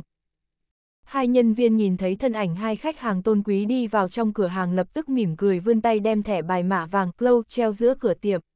Quản lý mặc đồng phục màu đen cũng đi theo tới tôn kính mời Trang Hạo Nhiên cùng đường khả hình hướng phía trước an vị, mà hơn 10 nhân viên mặc đồng phục hoàng đình váy đen đeo găng tay nhung đen từ từ theo thang lầu xoay tròn đi xuống, tay nâng các khay đồ cổ chân quý chân thành bày ra nhẫn cưới kim cương đặt lên bàn xoay màu tím sậm giữa sảnh, nhẫn cưới từ 3 đến 13 cala chân thành rực rỡ muôn màu, mộng ảo tinh xảo phi phàm.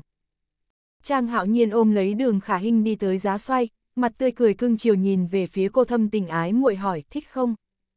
Đường khả hình mặc dù đối với trang sức không quá cảm thấy hứng thú, nhưng đây là lần đầu tiên trong đời chọn nhẫn cưới nên có vẻ kích động vô cùng, mở to hai mắt tiến về phía giá xoay màu tím sậm chậm rãi xoay tròn các chiếc nhẫn cưới, có viên kim cương 8 cala thực sự lớn đến kinh người lóe ra ánh sáng thập phần tôn quý và khí phách.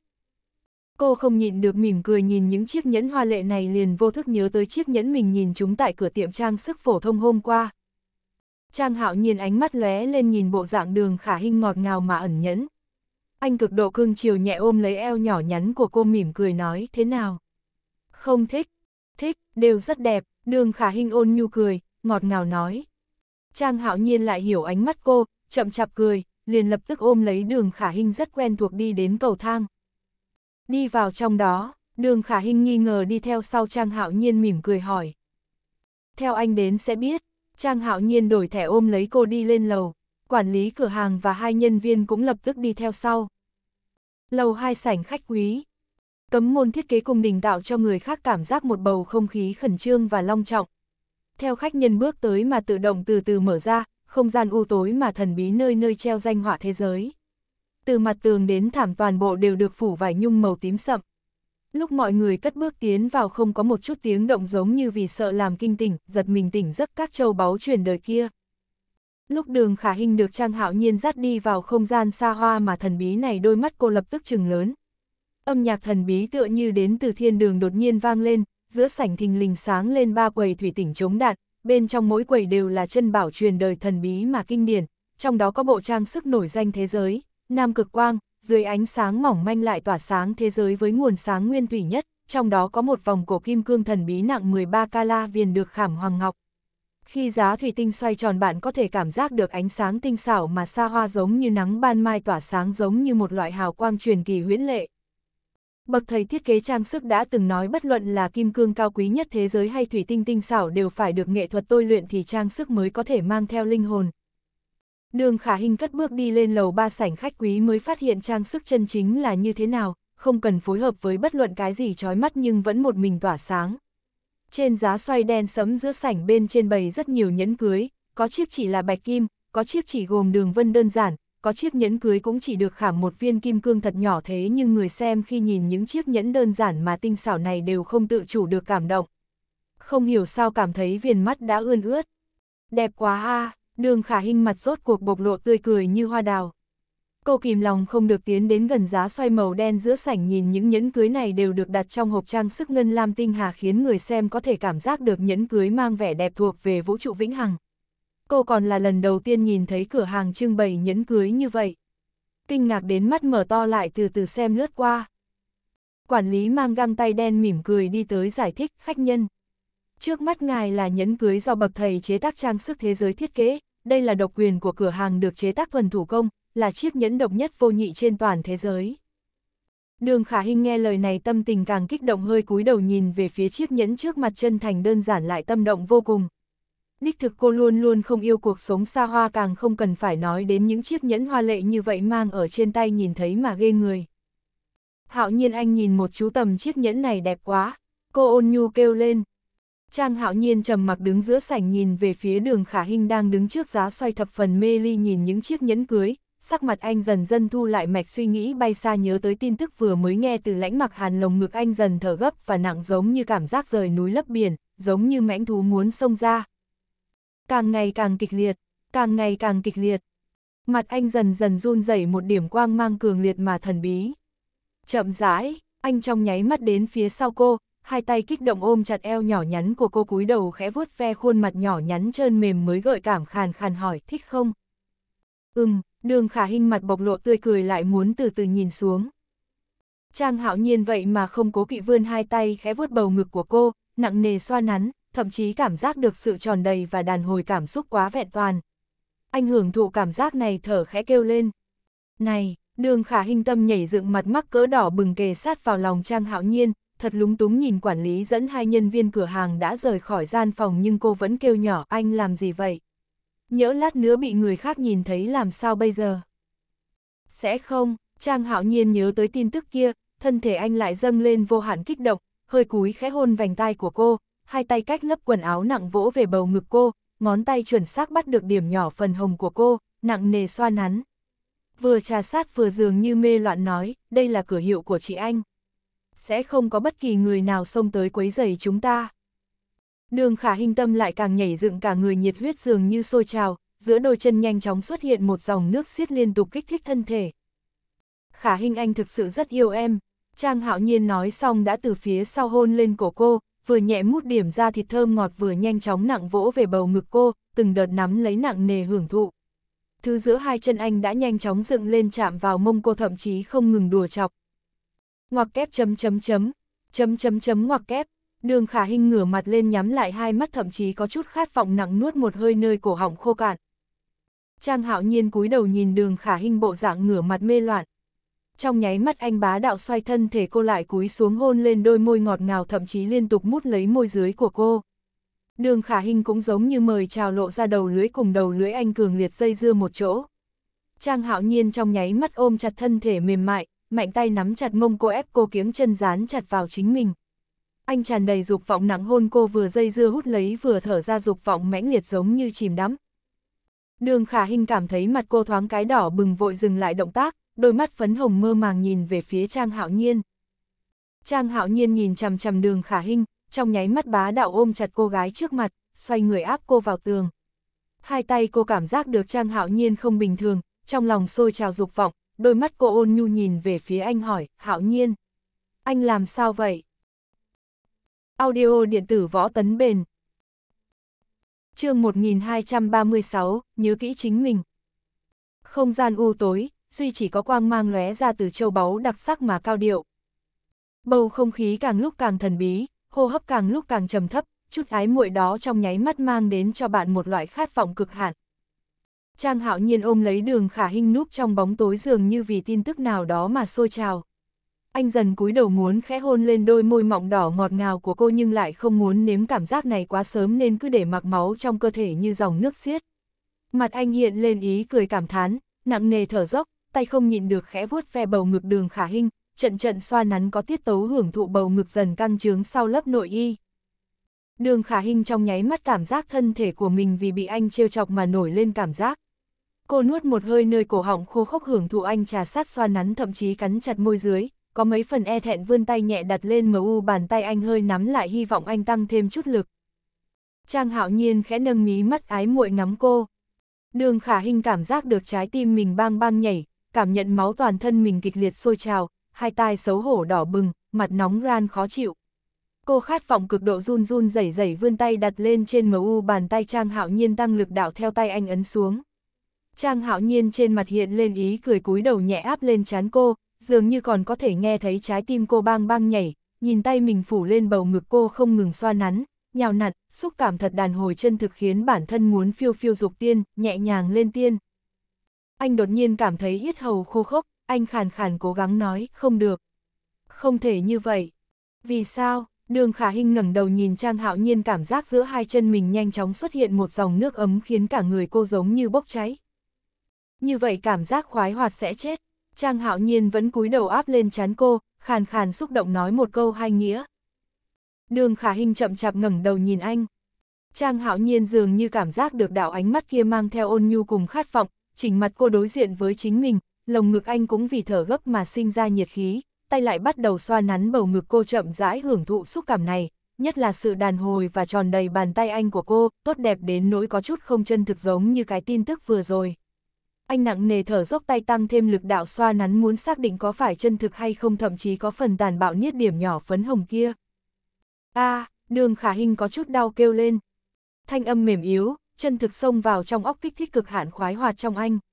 Anh trong nháy mắt nặng nề nắm chặt bầu ngực, thậm chí còn nhéo mạnh điểm nhỏ phấn hồng kia. a à, chấm than ngoặc kép, đường khả hình kích thích kêu lên. Đau không, anh trong nháy mắt căng thẳng đôi mắt kịch liệt lợi hại nhưng lại ái muội nhìn về phía cô gái trước mặt. Đau, thân thể cô kề sát mặt tường, mặc dù đau nhưng vẫn khát vọng thật sâu nhìn về phía anh, mềm giọng nói, đau quá. Chấm ngoặc kép, chương 1237, Đào Kiền. Edit, Hương Giang. Khách sạn Hoàng Đình. Trang hạo nhiên nhẹ ôm lấy thân thể mềm yếu của đường khả hình trầm mặc đi ra sảnh lớn, nhìn người con gái trong lòng kích tình qua đi, mắc cỡ đỏ bừng mặt, xấu hổ xuống lầu, anh lại bá đạo trong nháy mắt ôm chặt eo nhỏ nhắn của cô, phủ đầu khẽ hôn khuôn mặt nhỏ nhắn ửng hồng của cô, một tay kia dò vào trong tay trang của cô, cách sơ mi khẽ vuốt hông cô, cảm tính khàn khàn nói, thế nào? Xấu hổ. Đi, đường khả hình tâm phanh nhảy, tựa ở trong lồng ngực nóng cháy của anh, phủ mặt ngọt ngào cười.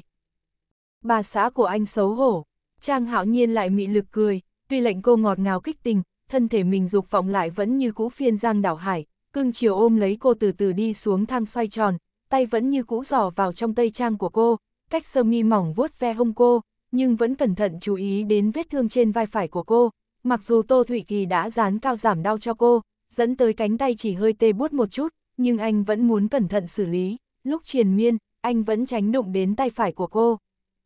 Đừng như vậy, lúc đường khả hình cất bước đi xuống thang xoay tròn thang, lại bị Trang Hạo Nhiên khiêu khích cho mặt đỏ tới mang tai.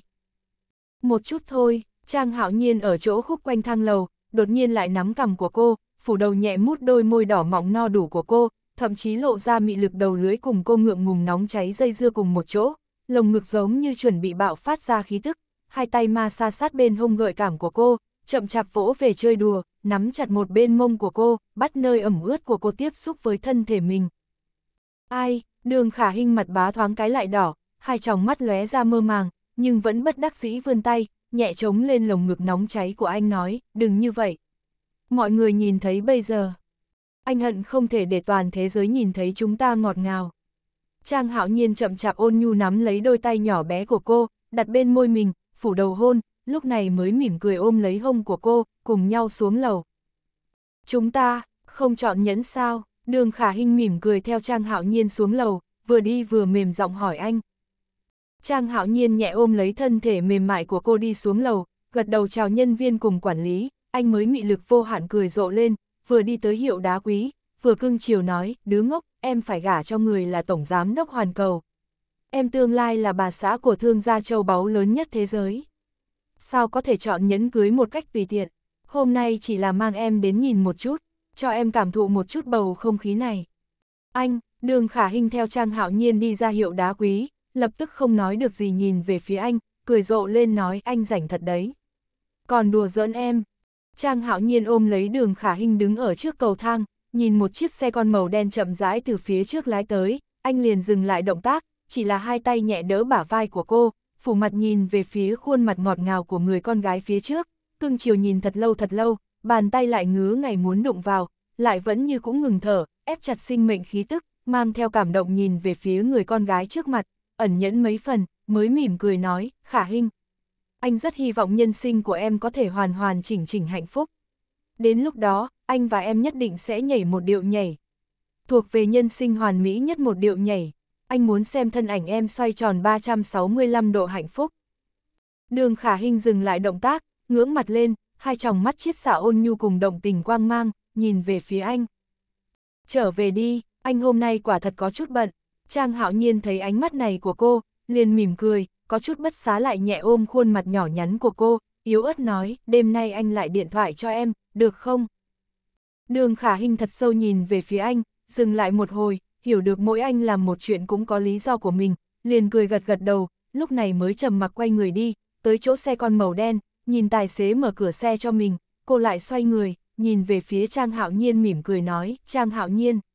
Nói lời phải giữ lời, chờ đến hôn lễ của chúng ta, anh nhất định phải cùng em nhảy một điệu nhảy. Không được chống chế. Trang Hạo Nhiên đứng ở trước cầu thang, thật sâu nhìn về phía cô bé này, mỉm cười.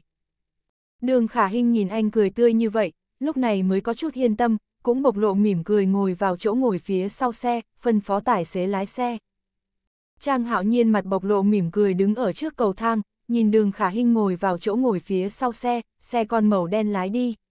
Sắc mặt của anh mới chậm rãi thu lại, hai tròng mắt bỗng nhiên chiết xạ thần bí mà kịch liệt quang mang, hỗn thân tình tự dường như phiên giang đảo hải vào tới, càng lúc càng hung mãnh, càng lúc càng hung mãnh. Anh vẫn như cũ không yên lòng, căng thẳng sắc mặt, chậm rãi đi xuống cầu thang, đứng ở ven đường ngăn nắp sạch sẽ, ngẩng đầu, nhìn về phía chiếc xe con kia chạy nhanh biến mất ở ngã rẽ, anh lúc này mới cho phép chính mình kinh ngạc. Anh lúc này mới cho phép chính mình kích động. Khí tức càng lúc càng trầm xuyến, càng lúc càng trầm xuyến. Anh dường như đứng ở đỉnh thế giới phong vân gợn sóng, theo nghi hoặc thế giới mê mang xoay tròn, lại chỉ nghe được tin tức lãnh mặc hàn vừa truyền đến. Hạo nhiên, tôi cùng với Uyển Thanh căn cứ vào chứng cứ, phân tích một buổi tối, có lẽ hung thủ. Thực sự có khác người này. Trang hạo nhiên xác thực xác thực nghe được câu này, hai tròng mắt anh run rẩy kịch liệt, hơi lóe ra nước mắt, nhìn toàn bộ thế giới sự vật, như vậy rõ ràng có màu sắc. Anh tức khắc ngồi vào xe của mình tọa, khởi động Pipic chạy về phía trước, anh nhanh chóng gọi cho lãnh mặc hàn, lại đè xuống tai nghe Bluetooth. Chuông điện thoại di động vang lên, lãnh mặc hàn ấn gọi điện thoại, thanh âm truyền đến. Ân, lời nói vừa rồi, vô cùng xác thực, Trang hạo nhiên hai tay nắm tay lái, phi đi như tên bắn, anh nhanh chóng hỏi. Ngoặc kép chấm chấm chấm chấm chấm chấm chấm chấm chấm ngoặc kép. Lãnh mặc hàn dừng lại một hồi, thanh âm mới rốt cuộc chậm rãi truyền đến nói, đúng vậy. Mặc dù tôi cùng với em gái cũng không có chứng cứ thực sự chính xác, cha ra ai là thủ phạm của vụ án phóng hỏa, nhưng chúng tôi cơ hồ có thể khẳng định. Thủ phạm phóng hỏa, không phải đường chủ tịch. Trang hạo nhiên hai tròng mắt lóe ánh lệ, hai tay cấp thiết nắm chặt tay lái, lấy tay thử đấm mình một cái, ra sức xua đi hình ảnh đường trí long ngồi trong ngục giam tang thương cúi mặt, ngừng thở, giữ chặt chân tướng trong trái tim mình, nghẹn ngào nuốt, mới cảm kích bước ra một câu nói. Huynh đệ, cảm ơn cậu. Ngoặc kép chấm chấm chấm chấm chấm chấm chấm chấm chấm ngoặc kép. Lãnh mặc hàn trầm mặc một hồi, mới tiếp tục hỏi, cậu bây giờ tức khắc qua đây. Tôi sẽ nói tình huống cụ thể cho cậu.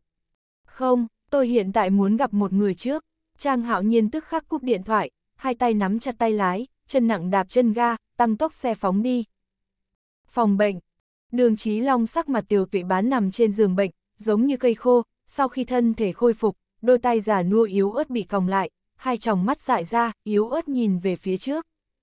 Đường Khải Văn bảo bà xã ở bên ngoài chờ, mặt bộc lộ một điểm cười chế nhạo tiểu ý, nhìn về phía phụ thân nói, ba.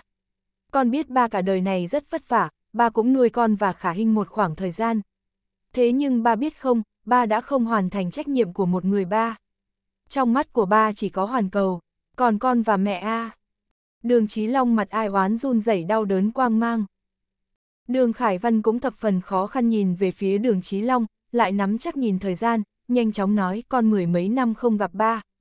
Cũng không phải muốn đòi hỏi ba cái gì, ba cũng không có cái gì cho con, chỉ là con biết, trước lúc ba ngồi tù, để lại vài thứ cho khả hình. Vậy con không so đo, thế nhưng, khả hình hiện tại và hoàn cầu trang tổng giám đốc cùng một chỗ. Người anh xác thực mới thực sự dài mặt, trang tổng cũng nói, muốn đầu tư cho con quán cơm chưa? Hôm nay lại còn có ký giả phỏng vấn con, ba nói, bọn họ liền hỏi cha và mẹ của ta, con, con lúc đó do dự một chút, nhưng mẹ đều nói ba đã chết, con, con không thể nào, con cũng chỉ có thể nói ba đã chết. Đường trí lòng ánh mắt run run rẩy rẩy đau đớn, ai oán nói không nên lời. Ba, ngài thử nghĩ xem, khả hình thế nhưng là quán quân cuộc thi phục vụ rượu lớn nhất thế giới. Nó sẽ phải gả vào hào môn, nó không thể có một người cha ngồi tù. Nếu như, nếu như nói ra, nói đường đường phu nhân tổng giám đốc lại có người cha tù tội. Không phải là sỉ nhục sao, còn có thể sẽ ảnh hưởng chuyện hôn sự này. Cho nên hôm nay con tới, chỉ là muốn nói cho ngài biết một tiếng, dù sao ngươi kiếp này ra không được, là phải ở trong đây an hưởng lúc tuổi già. Đừng dây dưa với bọn con nữa, đừng có đi nhận khả hình làm con gái. Trong khoảng thời gian này, con đang muốn cùng nó ăn cơm, dần dần bồi dưỡng lại cảm tình. Nó cũng sắp kết hôn rồi. Ba, được không, con van ngài, con van cầu ngài đừng tới làm phiền con và khả hình nữa. Đường Khải Văn càng nói càng hận, đến cuối cùng, hắn ngụy trang không nổi nữa, ngoan độ nói, chúng tôi không thể lại bị ông liên lụy. Hy vọng ông có thể nghĩ cho anh em tôi, nếu có ký giả tìm ông, ông phải nói, ông không quen biết cũng tôi. Hắn nói cho hết lời, nhanh chóng ra khỏi phòng bệnh, tức khắc liền bị của trách, một giọng nữ sắc bén ở bên ngoài kêu, anh có chuyện gì, không biết nói nhanh lên một chút à. Anh khỏi phải nói, ông ta cũng biết chuyện gì xảy ra. Ông ta còn dám liên lụy chúng ta à, nếu ông ta có mặt lời, sẽ không lại nhận khả hình. Khả hình của chúng ta là hoàn cầu phu nhân tổng giám đốc. So với địa vị của ông ta trước đây ở hoàn cầu còn cao hơn. Tôi là muốn ông ta chết sớm siêu sinh sớm đi, anh xem lại mình đi, đến chỗ như thế này mang về một thân xui xẻo. Về nhà tắm rửa sạch sẽ chớ bị ông ta dính xui xẻo. Đường Chí Long ai ai oán oán bán nằm ở trên giường bệnh, nghe âm thanh bên ngoài nhỏ dần nhỏ dần rồi biến mất, ông run rẩy khuôn mặt tiểu tụy, tràn đầy thống khổ, hai tròng mắt dại ra lại rơi nước mắt. Con dao giấu trong chăn chậm rãi lóe ra ánh sáng sắc bén. chương 1238, chỗ thiếu hụt. Edit, Hương Giang. Sau giờ ngọ, chiếc paipec màu trắng phi như tên bắn, vào trước đài phun nước ở bệnh viện, Trang Hạo Nhiên nhanh chóng đi xuống xe, mặt căng gấp cất bước đi tới cầu thang, lúc đi ngang qua đài phun nước màu trắng, nhìn thấy một chiếc xe con màu đen trông rất bình thường dần dần rời khỏi bệnh viện, cửa sổ xe dường như lộ ra một thân ảnh quen thuộc, anh tình không khỏi dừng bước lại, nhìn về phía chiếc xe đang từ từ biến mất, trầm mặc nghi ngờ một hồi, nhưng vẫn là không để ý xoay người cất bước mà đi. Khu nội trú vẫn như cũ không ít người đến người đi, chính là thời điểm bác sĩ cùng y tá giao ban giao, nhưng vẫn là so với lúc trước có mấy phần vắng vẻ.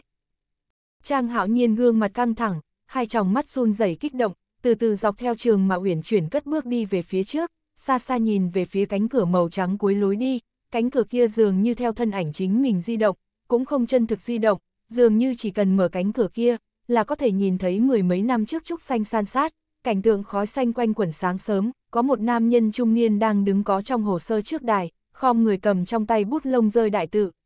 Khí thế nghiêm nghị tùy bút tích như lực lượng xoay mang mềm rủ xuống, đứa bé đứng ở một bên, dường như cũng bị hình ảnh này hấp dẫn, mắt to nghiêm túc, thỉnh thoảng ngẩng đầu, nhìn về phía người đang phủ thân viết chữ tích, cặp con ngươi chuyên chú mà cơ trí, mang theo lực lượng sinh mệnh thần bí. Đứa trẻ khi đó, thật sâu nhìn lão nhân ra, có liên quan với kính dâng lời, kèm theo hình ảnh tuyệt mỹ, vẫn tiếng vọng trong thế giới nho nhỏ của chính mình, sau khi lớn lên mới hiểu được, lão nhân ra khi đó cho tất cả, kỳ thực đã sớm làm cho thế giới của mình. Xuân về hoa nở, cửa phòng bệnh, truyền đến khí tức trầm xuyến. Trang hạo nhiên chậm rãi đi tới cửa phòng bệnh, cách cửa sổ thủy tinh, nhìn về phía người đàn ông trung niên từng dung trời chuyển đất bây giờ đã đầu bạc hoa dâm, ấm đệm chăn ngủ say ở trên giường bệnh, nếp nhăn già nua trên mặt kia, lộ ra vô hạn tang thương. Anh liền như vậy thật sâu nhìn người bên trong phòng bệnh, ngủ say như vậy, dường như đã theo ánh sáng thiên đường, bị nhiếp đi linh hồn. Tay, nhẹ ấn ở trên cửa, chậm rãi mở. Trang hạo nhiên sau khi được cảnh sát đặc biệt cho phép, trầm mặc đứng trước cửa phòng bệnh, hai tròng mắt run rẩy đau đớn quang mang, thật sâu nhìn về phía lão nhân ra ngủ say, dường như mình cũng bị nhiếp đi linh hồn, thong thả cất bước đi tới bên giường. Mỗi một bước, càng nhìn rõ gương mặt đầy nếp nhăn của ông. Mỗi một bước đến gần tim lại bị gõ một cái. Thân ảnh dần dần tới gần giường bệnh. Trang hạo nhiên hai tròng mắt dương dương ngồi ở trước giường bệnh, không dám ngẩng đầu nhìn lão nhân ra, chỉ là phủ mặt tùy ý trầm mặc cùng đau đớn, dần dần khuếch tán, khuếch tán.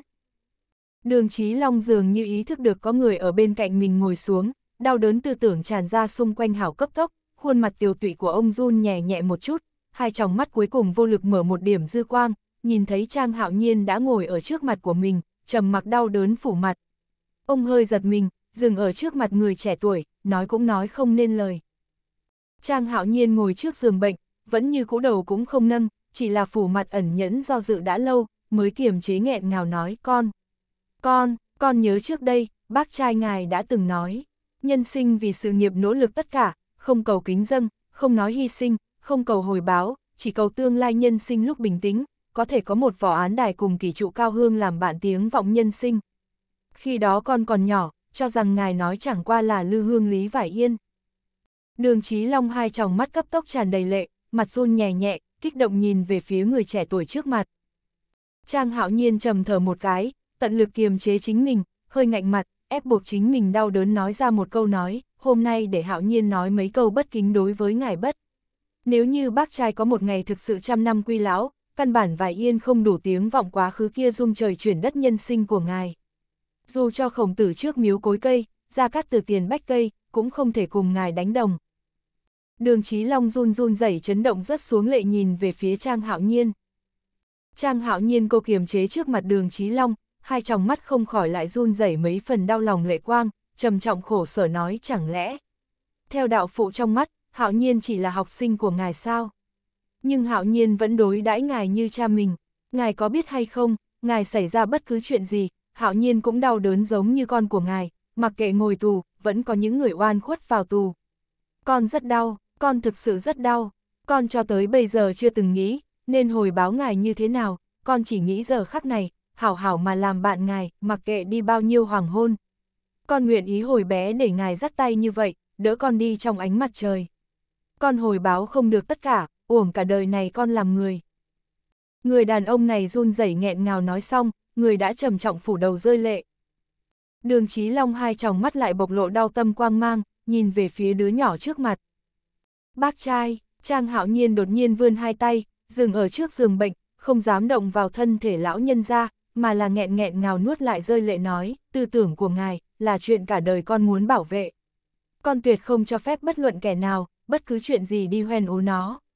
Bao gồm chính con, con đã trải qua 30 năm nhân sinh, bác trai, vô luận con là nhân vật thế nào, vẫn như cũng không dám tiếp nhận bút trong ngài. Thậm chí không dám lỗ mãng, ở công tích vĩ đại của ngài, nhiều thêm một khoản. Không cầu lấy lòng mọi người, chỉ cầu cho ngài thấy một hình ảnh chân thực và rõ ràng, làm một cầu sự người. Hy vọng ngài có thể tác thành hạo nhiên. Đường trí long nặng nề lặng yên rơi lệ, an ủi nhìn về phía người trẻ tuổi trước mặt, hai mắt cơ trí mà buồn bã, lóe ra vui sướng mà an ủi quang mang, cuối cùng run run rẩy rẩy rút tay già nua ra khỏi đệm chăn, dần dần nắm tay anh, thanh âm khàn khàn mà nghẹn ngào gọi. Hạo nhiên a Trang hạo nhiên lúc này mới ngẩng đầu, rơi lệ nhìn về phía bác trai. Đường Chí Long nghẹn nghẹn ngào nhìn về phía Trang Hạo Nhiên, trầm mặc kiềm chế đã lâu, mới rốt cuộc đau lòng run rẩy nói, con hãy chăm sóc khả hình thật tốt. Trang Hạo Nhiên hơi giật mình nhìn về phía đường Chí Long. Đường Chí Long nhìn về phía Trang Hạo Nhiên, một ngữ hai ý nghĩa, lại cuối cùng nghẹn ngào rơi lệ, kích động nói, bác cứ người con gái như vậy. Con phải đáp ứng bác trai hảo hảo đối đãi khả hình. Đừng phụ tấm chân tình của nó đối với con, bất kể là nghiệt duyên, nhưng cuối cùng là duyên. Con gái ta trải qua tước cốt đau đớn, trải qua vô số thống khổ và kiếp nạn, cũng còn có thể kiên trì đi cho tới hôm nay. Là do người cha này xem thường nó, xem thường tình cảm của các con. Có lẽ các con thật sự yêu nhau, chỉ cần các con thấy rõ bản chất sinh mệnh cùng chân tướng, xác thực mỗi người cũng có một người đường đi. Mà mỗi một bước đều tự phụ, mỗi một tuyển trạch, tất nhiên có ý nghĩa cùng đạo lý. Các con trưởng thành, đi con đường của mình đi, ta, ta chúc phúc các con. Bác trai, Trang Hạo Nhiên quả thực không thể tin được khi nghe thấy tin tức này, anh tức khắc nắm chặt tay đường Chí Long, kích động nói, ngài. Ngài nói thật sao, ngài, ngài thực sự đáp ứng chúng con. Đường Chí Long run rẩy, nước mắt chảy xuống, lại chậm rãi gật gật đầu. Bác trai, Trang Hạo Nhiên lúc này mừng như điên nói không nên lời, chỉ là run rẩy run rẩy nắm chặt tay bác trai, nói không nên lời. Ngoặc kép chấm chấm chấm chấm chấm chấm chấm chấm chấm ngoặc kép. Đường Chí Long thiên ngôn vạn ngữ nuốt ở nơi cổ họng, chỉ là hai tròng mắt run rẩy nước mắt, run rẩy nắm tay Trang Hạo Nhiên, mặc dù có rất nhiều tâm sự, mặc dù có nhiều chuyện vẫn không giao cho, mặc dù không thể khoác tay con gái bước đi trên thảm đỏ, ông lại ép chặt nội tâm đau đớn, tùy ý để nước mắt từng giọt chảy xuống, mới nghẹn ngào cười nói, Khả Hinh là người con gái tốt. Con là đứa nhỏ hiếu thuận, tất cả thành tựu của các con hôm nay, cũng đã vì nhân sinh của ta, thêm vào một khoản đẹp nhất. Ta rất an ủi rất kiêu ngạo, rất tự hào, đây mới là hình ảnh mà ta khát vọng. Bác trai, Trang Hạo Nhiên lại kích động gọi ông. Đường Chí Long nhìn về phía Trang Hạo Nhiên, trên mặt cũng run rẩy đau lòng tươi cười, nghẹn ngào nói, phải nhớ, sinh mệnh không có cái gọi là duy mỹ, đây chẳng qua là một loại chạy trốn hiện thực tưởng tượng, chỗ thiếu hụt mặc dù tàn nhẫn, lại chân thực tin cậy. Các con chỉ cần tác thành khát vọng nhân sinh là đủ rồi. Lão nhân này ra vừa nói, biên đau lòng run rẩy rơi lệ. Bác trai, ngài yên tâm, con nhất định sẽ đối đãi khả hình thật tốt, nhất định, Trang Hạo Nhiên nắm chặt tay đường trí Long, đau lòng nghẹn ngào nói. Đường Chí Long lặng yên gật đầu, lại run rẩy rơi lệ. Đi đi, đi nói cho khả hình cái tin tức tốt này. Đi nói với nó, người cha này chúc phúc nó tìm tới nam nhân tốt đội trời đạp đất trên cái thế giới này trên cái thế giới này. Ngoặc kép chấm chấm chấm chấm chấm chấm chấm chấm chấm ngoặc kép. Trang Hạo Nhiên kích động nhìn về phía đường Chí Long. Đi đi, lần sau, các con cùng đến thăm ta, mang bó hoa bách hợp đến thăm ta. Đường Chí Long nghẹn ngào nói xong, cũng đã nắm tay Trang Hạo Nhiên tay, bảo anh rời khỏi. Trang Hạo Nhiên hai tròng mắt nghẹn ngào nước mắt, có lẽ không nghĩ đến sự tình thuận lợi như thế, anh trầm thở một cái, nhìn đường Chí Long dường như thân thể mệt mỏi, nhắm lại hai mắt ngủ thật say, anh khẽ run rẩy tươi cười, để tránh quấy rầy lão nhân ra nghỉ ngơi, đành phải chậm rãi đứng lên, lại thật sâu nhìn về phía khuôn mặt tiểu tụy, nhớ tới cái chân tướng kia, anh cắn chặt răng không đem sự kiện điều tra sự kiện, mà là chậm rãi xoay người, từ đi ra khỏi phòng bệnh. Cửa, nhẹ nhàng khép lại. Đường Chí Long tiểu tủy thống khổ nằm ở trên giường, đôi mắt già nua roi nước mắt, nhớ tới bộ dáng thiện lương ngọt ngào của con gái, nhớ tới bộ dáng con gái thâm tình rơi lệ, tâm nguyện cuối cùng của ông nhắm mắt lại, tùy ý cắt một đường vào cổ tay, máu tươi từng giọt chảy xuống tụ lại thành một vũng làm cho người ngoài nhìn cũng thấy giật mình. Trang hạo nhiên một mình một người cấp tốc đi ra ngoài, vừa mới bắt đầu trên mặt còn vui sướng tươi cười, lại không biết vì sao, trái tim không hiểu bị người nặng đấm một chút. Anh hai tròng mắt nhanh chóng lưu chuyển, từ từ bắt đầu cảm thấy có chút không ổn. Đi đi, lần sau, các con cùng đến thăm ta, mang bó hoa bách hợp đến. Những lời này, yếu ớt, ai ai oán oán truyền đến. Trang hạo nhiên dừng bước lại, sắc mặt căng thẳng, hai tròng mắt càng nhanh chóng lóe ra, dường như đã nghe thấy tiếng máu tươi tí tách trên mặt đất, anh trong nháy mắt thật nhanh chạy về phía trước, rơi lệ kêu to, bác trai. chương 1239, gắn bó. Một chiếc Mercedes màu đen chạy nhanh trên đường chợt thắng gấp rừng ở trước quán cơm trưa. Đôi mắt đường khả hình tràn đầy lệ, cô run rẩy đi xuống xe, cố nén phẫn nộ, thân thể như bốc cháy lên hừng hực nhanh chóng đi vào trong quán cơm trưa náo nhiệt, nhìn một vòng các vị khách ngồi xung quanh. Lúc đó, cô đang muốn tìm chỗ ngồi trên lầu 2, chợt nghe thấy có người kêu tên của mình, gương mặt khả hình căng thẳng, cô mở to mắt nhìn người phía trước. Khả hình, em tới rồi. Ôi, em yêu cầu anh trai tới nơi này, nhưng sao lại không thông báo một tiếng. Đường Khải Văn mặc áo trắng cùng với quần tây, tay cầm khăn lau, nhanh chóng đi đến chỗ đường Khả Hinh nở nụ cười kêu lên. Đường Khả Hinh tức giận đến cả người run lên, nước mắt nhanh chóng chảy xuống, nhìn anh trai mình cao hứng như vậy gương mặt tươi cười đi ra. Trong nháy mắt, cô vung tay lên, tát một cái lên mặt Khải Văn. Bốp, một tiếng, hết thảy căm giận và oán hận dồn nén lại trong nháy mắt được phát tiết trong cái tát này. Trong quán ăn, rất nhiều vị khách và nhân viên lập tức dừng lại động tác, khiếp sợ nhìn cảnh tượng trước mắt.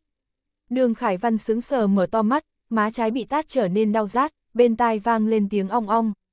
Gạch nối dài gạch nối dài gạch nối dài gạch nối dài. Anh không rõ chuyện gì xảy ra, nhìn chăm chú về phía đường Khả Hinh. Đường Khả Hinh tức giận đến gần anh trai mình, cô trừng mắt, nghiến răng nghiến lợi nhìn bộ dạng đáng chết này của anh mình. Lúc này, cô mới nghẹn ngào nói, hôm nay, rốt cuộc anh đã nói gì với ba để cho ông ấy nghĩ quẩn như vậy. Em biết, hôm nay anh chắc chắn đã nói với ba một số lời mới có thể khiến ông ấy kích động như vậy. Anh không thể để cho ba nghỉ ngơi một chút được hay sao? Cho dù ông ấy không để lại cho anh cái gì, nhưng ít ra ông cho anh cuộc đời này, nuôi anh đến năm 18 tuổi. Như thế nào mà anh lại tàn nhẫn như vậy? Đường Khải Văn mở to mắt, sắc mặt căng thẳng nhìn em gái mình. Nước mắt của đường Khả Hinh lại nhanh chóng rơi xuống, khuôn mặt run rẩy, ngẩng đầu lên phẫn nộ nhìn anh mình. Cô nắm chặt tay cắn răng nói, em không phải vì ba vào tù, hay vì ông ấy phản đối tình yêu em, mà có bất kỳ bất mãn nào. Em cũng không phải vì từ nhỏ đã rời khỏi khỏi ông ấy mà cảm thấy oán hận. Bởi vì em tin ba cô à mình, em tin tưởng mỗi sự lựa chọn của ông ấy đều có đạo lý. Em cảm ơn ông ấy đã cho em cuộc sống này. Cũng chính vì điều này, mặc kệ ba mẹ có làm chuyện gì, em tuyệt đối không có bất kỳ lý do gì để oán hận, để bác bỏ hay trách cứ. Nếu như không có bọn họ, anh căn bản không có cơ hội mở mắt ra nhìn thấy thế giới này. Ngày đó bọn họ mang anh tới, cũng đã trải qua đau đớn rất lớn, chờ mong, mâu thuẫn và dẫy ruộng. Trái tim của ba mẹ, về điểm này phận làm con gái rốt cuộc có thể biết được bao nhiêu. Hiện tại em chỉ hận bản thân mình biết được quá ít. Đường Khải Văn cắn răng, nắm chặt khăn lau, gương mặt căng thẳng không lên tiếng. Đường Khả Hinh nhớ tới ba của mình, lòng cô đau đớn, nước mắt chảy xuống, nghẹn ngào qua đi, mới khóc giống nói cứ mỗi lần. Mỗi lần một mình em trốn ở góc tối, cho dù là gió lạnh thổi qua, hay phải chịu đói em vẫn luôn nói, ba. Ba chờ con một chút, ba chờ con một chút, con nhất định sẽ nỗ lực sống. Trong tương lai con nhất định làm ba an tâm về mình, không cho ba bận tâm, không cho ba lo lắng. Mặc dù cuộc sống kia có công bằng hay không, mọi chuyện có suôn sẻ hay không nhưng điều đáng quý là anh vẫn còn có máu ngủ ruột ra. Bây giờ em phải tranh thủ từng ngày, từng ngày, mong muốn ba mẹ đều ở bên cạnh em, em không muốn khi mình hạnh phúc mà phải khóc, sau đó nhìn lên những vì sao trên trời. Tưởng niệm ba mẹ, kia mới đúng là con người cô độc nhất, vĩnh biệt đau khổ nhất, lại không thể hối hận một đời. Khuôn mặt đường Khải Văn vẫn như cũ, cúi đầu không lên tiếng. Chỉ có loại người vô ơn như anh, đường khả hình thống khổ rơi lệ, mới căm giận oán hận nói, chỉ có anh loại vô ơn như vậy, mới nói những lời làm cho ba mẹ mình đi tìm cái chết. Em cảnh cáo anh, đường Khải Văn, anh không có việc gì lại đến gần ba, anh ngay cả người thân không nhận, tại sao lại muốn em nhận người anh này? Từ nay về sau, em với anh cắt đứt liên hệ, anh vĩnh viễn cũng sẽ không từ trên người của em, lấy được bất cứ thứ gì. Bắt đầu từ hôm nay, chúng ta đoạn tuyệt quan hệ anh em. Trong nháy mắt, đường Khải Văn ngẩng đầu, nhìn về phía đường Khả Hinh nhanh chóng tức giận nói, lòng em thực sự độc ác như vậy sao? Anh tự hỏi lương tâm của chính mình đi, anh rốt cuộc có bao nhiêu độc ác? Đường Khả Hinh oán giận, mắt mở to rơi lệ liếc Khải Văn một cái, lúc này mới xoay người, nhanh chóng bước ra ngoài. Đường Khải Văn cắn chặt răng nhìn em gái cứ như vậy vô tình đi xa, anh hừ một tiếng, bỏ khăn xuống, mau chóng đi vào nhà bếp. Đường Khả Hinh ngồi vào chỗ phía sau xe, thanh âm lo lắng hạ thấp, cô nhanh chóng thúc giục tài xế, mau.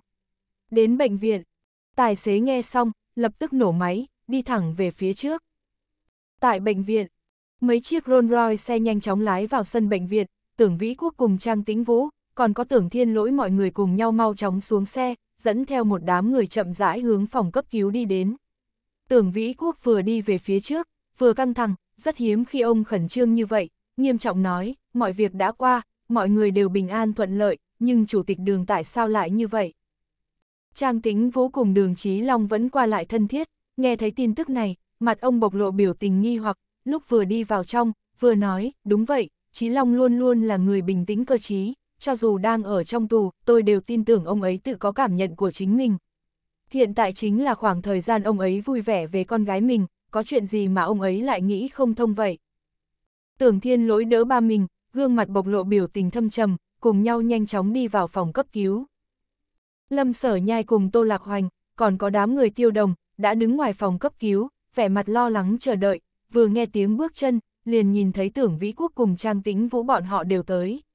Mấy người mau chóng đứng dậy đối với bọn họ tôn kính gật đầu. Hạo nhiên đâu, không phải nó đã phát hiện ra chủ tịch đường tự sát sao? Trang tính vũ trong lúc đến, đã nghe trong điện thoại biết được đường Chí Long đang cấp cứu, liền nghi ngờ tìm con trai. Thời gian chủ tịch đường cắt cổ tay tự sát, xuất huyết rất nhiều. Không nghĩ được nhóm máu của hai người có thể trùng nhau. Tiêu đồng trực tiếp nhìn về phía mấy vị chủ tịch, nói anh ấy đi lấy máu, hiện tại cũng sắp trở về rồi. Đôi mắt của tưởng thiên lỗi mở to, nhìn về phía tiêu đồng nhanh chóng hỏi, nhóm máu của chủ tịch đường và hạo nhiên có thể trùng nhau. Hạo nhiên nhóm máu gì? Gương mặt tưởng vĩ quốc lạnh lùng nhìn về phía con trai nói, con nghi ngờ cái gì? Huyết mạch hai nhà tưởng và trang tuyệt đối không có khả năng nhầm lẫn đâu. Chủ tịch đường là một người đầu đội trời chân đạp đất, có trí khí hơn người. Con nói những lời này thật sự rất bất kính. Ba, con nói lời này thật không có ý gì khác. Tưởng thiên lỗi nhìn ba mình, hơi bất đắc dĩ nói. Con không có ý tứ gì khác, con chính là có ý này. Con có biết trong quá khứ đã xảy ra việc gì sao? Quá khứ của mỗi người, mỗi một chuyện đều rất nghiêm túc. Mỗi người đều rất cẩn thận để đưa ra một quyết định. Hơn nữa còn rất dễ hy sinh. Nếu như con hoàn toàn không biết gì cả, ở đây liền không tới phiên con nói chuyện. Tưởng vĩ quốc khó có lúc tức giận như vậy, nhìn con trai mình cao giọng mắng. Tưởng thiên lỗi nghe những lời này, tức khắc im lặng không lên tiếng. Mấy người lâm sở nhai đứng ở một bên, thấy tưởng vĩ quốc nổi giận như vậy, cũng không dám lên tiếng. Trang tính vũ đứng ở một bên, trầm mặc một lúc, đang lo lắng cho đường Chí Long rất nhiều, hơi phất tay một cái để cho tiêu đồng dẫn đường, trước tiên đi xem con trai mình. Tiêu đồng nghe xong, lập tức gật đầu, trầm mặc dẫn ông đi về phía trước. Khu hiến máu. Không gian màu trắng, Bít tông ép khí đang không ngừng đi lên, máu trong ống theo cánh tay to lớn chuyển đến. Trang hạo nhiên trầm mặc vươn tay, mặc cho y tá tiếp tục lấy máu ở cánh tay của mình, từng chút từng chút đi ra ngoài, vì mấy ngày nay cơ thể bị trúng đạn, thể lực đã chống đỡ hết nổi, sắc mặt anh tái nhợt. Đôi mắt mang theo tia ái náy, lúc mình vào phòng bệnh, nhấc lên tấm chăn màu trắng kia, nhìn thấy tay trái của đường Trí Long, bị còng ở trên giường sắt, mà máu tươi cứ nhỏ xuống. Lão nhân ra như ông ấy cuộc đời còn khỏe mạnh như vậy, cuối cùng lại vì chảy từng giọt từng giọt máu như vậy đau thương mà trầm tĩnh chìm vào giấc ngủ. Nghĩ tới đây, tim anh lại quặn thắt. Đôi mắt Trang Hạo Nhiên rưng rưng, để mặc ý tá không ngừng lấy máu ở cánh tay của mình, anh ấy náy nhớ tới, đường Chí Long từng lấy cái chết uy hiếp con gái và anh tách ra, sao hôm nay có thể vô cùng sảng khoái như vậy đáp ứng. Nếu như có thể sảng khoái như vậy, ông ấy tuyệt đối sẽ không nghĩ đến con đường chết này. Là mình bức tử ông ấy, là mình, nghĩ tới đây, anh cắn chặt răng, thực sự nghi hoặc rốt cuộc chân tướng là cái gì đây? Nghĩ như vậy, Trang hạo nhiên nuốt xuống nghi hoặc trong lòng, đôi mắt lóe lên, mau chóng lấy điện thoại bấm số của lãnh Mặc Hàn, nhanh chóng nói, Mặc Hàn. Tôi lập tức muốn biết chân tướng vụ án này, anh mau cho người đi điều tra tất cả sau đó nói cho tôi biết. Tôi muốn tự mình phân tích. Lãnh Mặc Hàn cầm di động, nhìn chân dung giữa màn hình máy tính trước mặt, nhẹ gật đầu, nói, được. Thời gian quay trở lại thời điểm lúc 8 giờ tối qua, hình ảnh trong nháy mắt chuyển tới bên trong phòng bệnh. chương 1240, có vấn đề. 8 giờ tối qua, phòng bệnh trong bệnh viện, nước mưa theo gió táp vào trên cửa sổ sát đất, vang lên những tiếng kêu tí tách. Lãnh mặc hàn mặc áo sơ mi màu đen cùng quần tây cùng màu, vẻ mặt bộc lộ thâm trầm yên lặng, ngồi trên chiếc ghế sofa, nhận lấy phần tư liệu cuối cùng lấy từ cục cảnh sát từ Trương Thục Giao, đem toàn bộ mở ra hiện lên ba chiếc máy tính trước mặt. Những hình ảnh vụ án phóng hóa liền hiện lên, còn có một thân ảnh màu trắng như u hồn kỳ quái hiện lên. Uyển Thanh sắc mặt tái nhợt tiều tụy ngồi trên xe lăn, trên tay cũng cầm một phần tư liệu của vụ án phóng hỏa năm đó, nhìn kỹ hình ảnh trên tấm hình. Trương Thục Giao lại trầm mặc đem những hình ảnh phát sinh ở đại sảnh cùng thang máy trước mấy tiếng đồng hồ toàn bộ bày ra, một bên bày ra một bên sâu xa nói, cha như vậy không phải rất khó khăn hay sao? Năm đó người ra vào thang máy khách sạn thời điểm đó rất đông. Uyển Thanh mỉm cười, nhàn nhạt nhìn Trương Thục Giao nói, cô chưa từng nghe qua chuyện như thế này sao?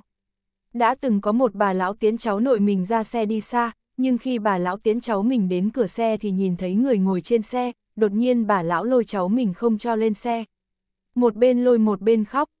Đó là vì sao? Trương Thục Giao kỳ quái nhìn về phía Uyển Thanh hỏi. Uyển Thanh mỉm cười nhìn Trương Thục Giao nói, theo suy luận, là thông qua sự đơn giản mới đến phức tạp, hay là phức tạp nhưng lại cực kỳ đơn giản, lại có lẽ. Ở giả thiết vấn đề trên, bố trí nhiều kết quả thay vào. Đây là thế giới thứ ba. Thế giới thứ ba tràn ngập thời gian, lo lắng, thậm chí rất nhiều chuyện không dự tính được phát sinh. Giống như câu chuyện bà lão này, bà ấy nói nhìn thấy người trên xe, mỗi người sắc mặt đều yên lặng, ấn đường gần như biến thành màu đen, bà liền cảm thấy bất an mạnh mẽ. Cho nên bà ngăn cản không cho cháu trai lên xe, quả nhiên. Một thời gian ngắn sau khi xe chạy ra khỏi sân ga liền nổ tung. Thật sự a à, Trương Thục Giao nhìn về phía Uyển Thanh, cơ hồ kinh ngạc kêu lên.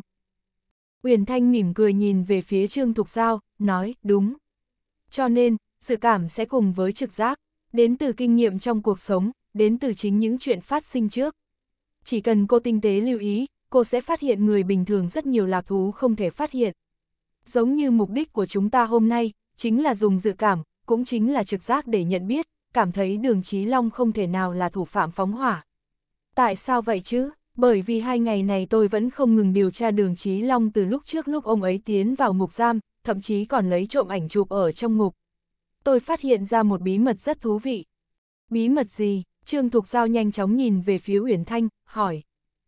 Uyển Thanh hơi di chuyển thân thể, cầm tập tài liệu cùng những hình ảnh của vụ án phóng hỏa của đường Chí Long mà mình điều tra, chậm rãi nói cảnh sát làm việc nói chứng cứ. Chúng ta đúng ra nói chính là logic, nhân tính, dự cảm, trực giác. Càng không chân thực, lại càng chân thực. Tôi làm một chút điều tra đường Chí Long, phát hiện từ khi bắt đầu làm việc đến mấy chục năm sau, ông ấy mắc lỗi chỉ chiếm 8%. Cô nghĩ xem, một người mắc lỗi chỉ có 8%, ông ấy nhất định là một người cẩn thận, hơn nữa là một người thông minh cơ trí. Đây là kết quả thứ nhất. Thứ hai, lúc ông ấy nhậm chức chủ tịch tập đoàn Hoàn Cầu, xử lý hơn 12 chuyện cơ hồ đều là những vấn đề khó khăn của khách sạn, bao gồm cả sự việc vào năm 1890 khách hàng trúng độc thực phẩm tại khách sạn. Ông ấy cơ hồ gặp nguy không loạn, xử lý vô cùng chu toàn thỏa đáng. Thảo nào Tổng Giám Đốc Trang không tin Chủ tịch Đường là thủ phạm phóng hỏa, ngay cả tôi bây giờ cũng không tin. Vì sao? Bởi vì một người lâm nguy mà không sợ hãi như vậy, tuyệt đối sẽ không giống như lời cảnh sát, bị kích thích vì chuyện gì mà mắc phải sai lầm lớn như vậy.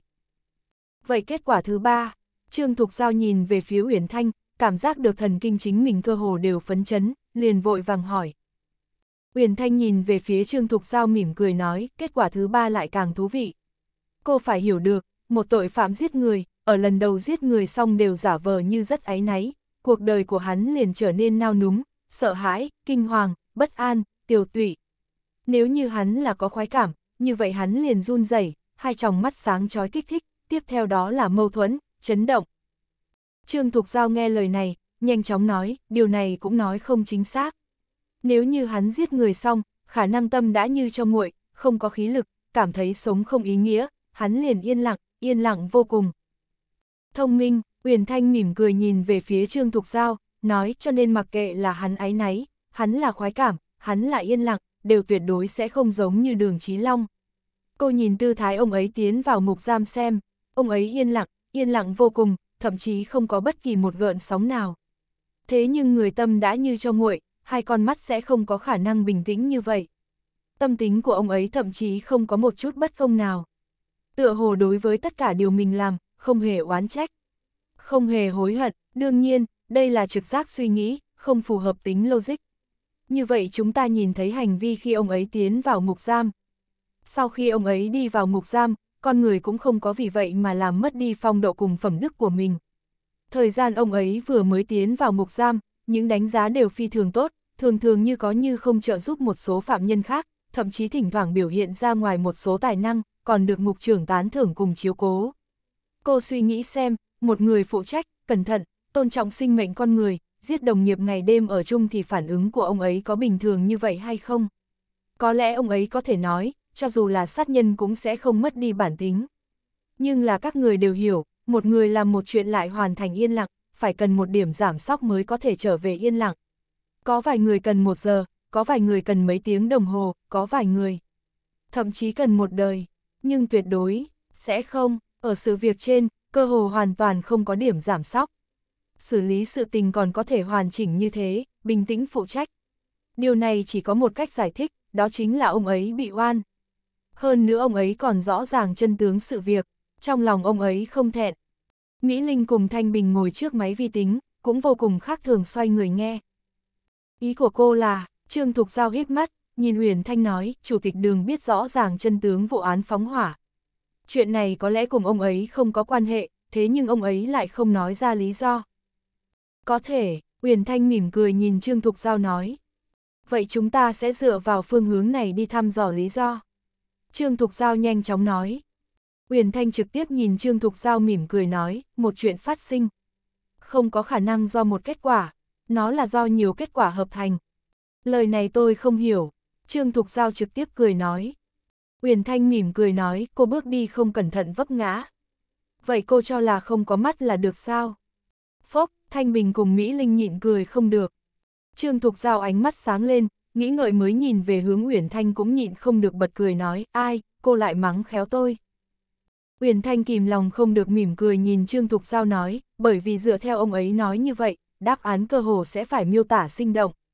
Sự tình không có đơn giản như vậy, cô suy nghĩ một chút, cô ngã một cái, thất thần là một chuyện, nhưng ít nhất cũng muốn đổ lỗi cho điều kiện vật chất, tỉ như một chiếc cây dây thừng. Một khối cá, một cái hố, còn phải phối hợp với lúc cô ngã xuống đang thất thần, nghĩ ngợi lung tung. Một cước này đạp xuống, mới có thể rơi thành, phải không? Trương Thục Giao gật đầu. Như vậy, Uyển Thanh trực tiếp nhìn về phía Trương Thục Giao mỉm cười nói, dẫn đến ngã cũng đã có thật nhiều lý do. Tỷ như cô thất thần, thất thần cái gì, nghĩ cái gì mà không cẩn thận như vậy. Đây là thứ nhất, thứ nhị, sợi dây này ai răng, khối đá ai bày ra, hố này ai đào, có phải hay không lại sinh ra rất nhiều lý do. Vụ án phóng hỏa này có khả năng là do một người gây ra, cũng có thể là do nhiều người gây ra. Nó thậm chí có khả năng cùng con người không có quan hệ, chỉ là điều kiện vật chất dẫn đến vấn đề. Trương Thục Giao nghĩ ngợi, liền nhìn về hướng Uyển Thanh cười rộ lên nói, ai? Cô nói như vậy, cùng với lúc chưa nói, không có gì khác nhau a à? Tại sao lại không có khác nhau? Uyển Thanh nhìn về phía Trương Thục Giao mỉm cười nói, cô cho là suy luận, chính là ngồi ở chỗ này, uống chén trà, đơn giản suy nghĩ một chút là đủ rồi. Chúng ta cần thời gian, điều kiện, vật chất đi xác minh chuyện này, đem chuyện này lý giải một cách có logic và hoàn chỉnh. Vụ án bản thân, liền là một đầu mối truy nguyên tố lưu. Thế nhưng ít nhất, kết quả điều tra hai ngày này của tôi đã nói rõ chủ tịch đường có thể bị oan. Có mục tiêu rồi, chúng ta liền có điểm xuất phát. Ít nhất so với không có manh mối khá hơn nhiều. Tôi có nghi vấn, Thanh Bình xoay người nhìn Huyền Thanh nói, cô nhắc tới ý kiến của mình. Như vậy, đầu mối ở cục cảnh sát cô không suy nghĩ qua hay sao? Tôi tạm thời không suy nghĩ. Huyền Thanh nhìn về phía Thanh Bình nhanh chóng nói. Vì sao? Thanh Bình nhìn về phía Huyền Thanh hỏi. Vì mục đích của chúng ta và mục đích của bọn họ trái ngược nhau. Tôi tạm thời sẽ không suy nghĩ những đầu mối đó, để tránh ảnh hưởng suy luận cùng phán đoán của tôi. Chỉ có khi chính tôi không rõ ràng, có lẽ tôi sẽ mượn bằng chứng của bọn họ. Uyển Thanh nói thẳng. Thanh Bình nghe xong, gật đầu. Lãnh mặc hàn vẫn ngồi trên sofa không lên tiếng, chỉ là thật sâu nhìn kỹ phần văn kiện trước mặt, nội dung văn kiện hiện lên chân tướng sự việc mà đường Chí Long nói ra ở cục cảnh sát. Trương Thục Giao nhìn về phía lãnh mặc hàn, trực tiếp tò mò hỏi, Phó Tổng lãnh. Anh vẫn không lên tiếng, vì sao a? À? Uyển Thanh cũng chậm rãi quay đầu, nhìn về phía anh trai của mình. Lãnh mặc hàn nhìn về phía văn kiện trước mặt, sâu xa nói, căn cứ chính xác chủ tịch đường nhận tội, có vấn đề. Vấn đề gì? Uyển Thanh nhìn về phía anh trai hỏi. Audio điện tử võ tấn bền. Hết chương 1240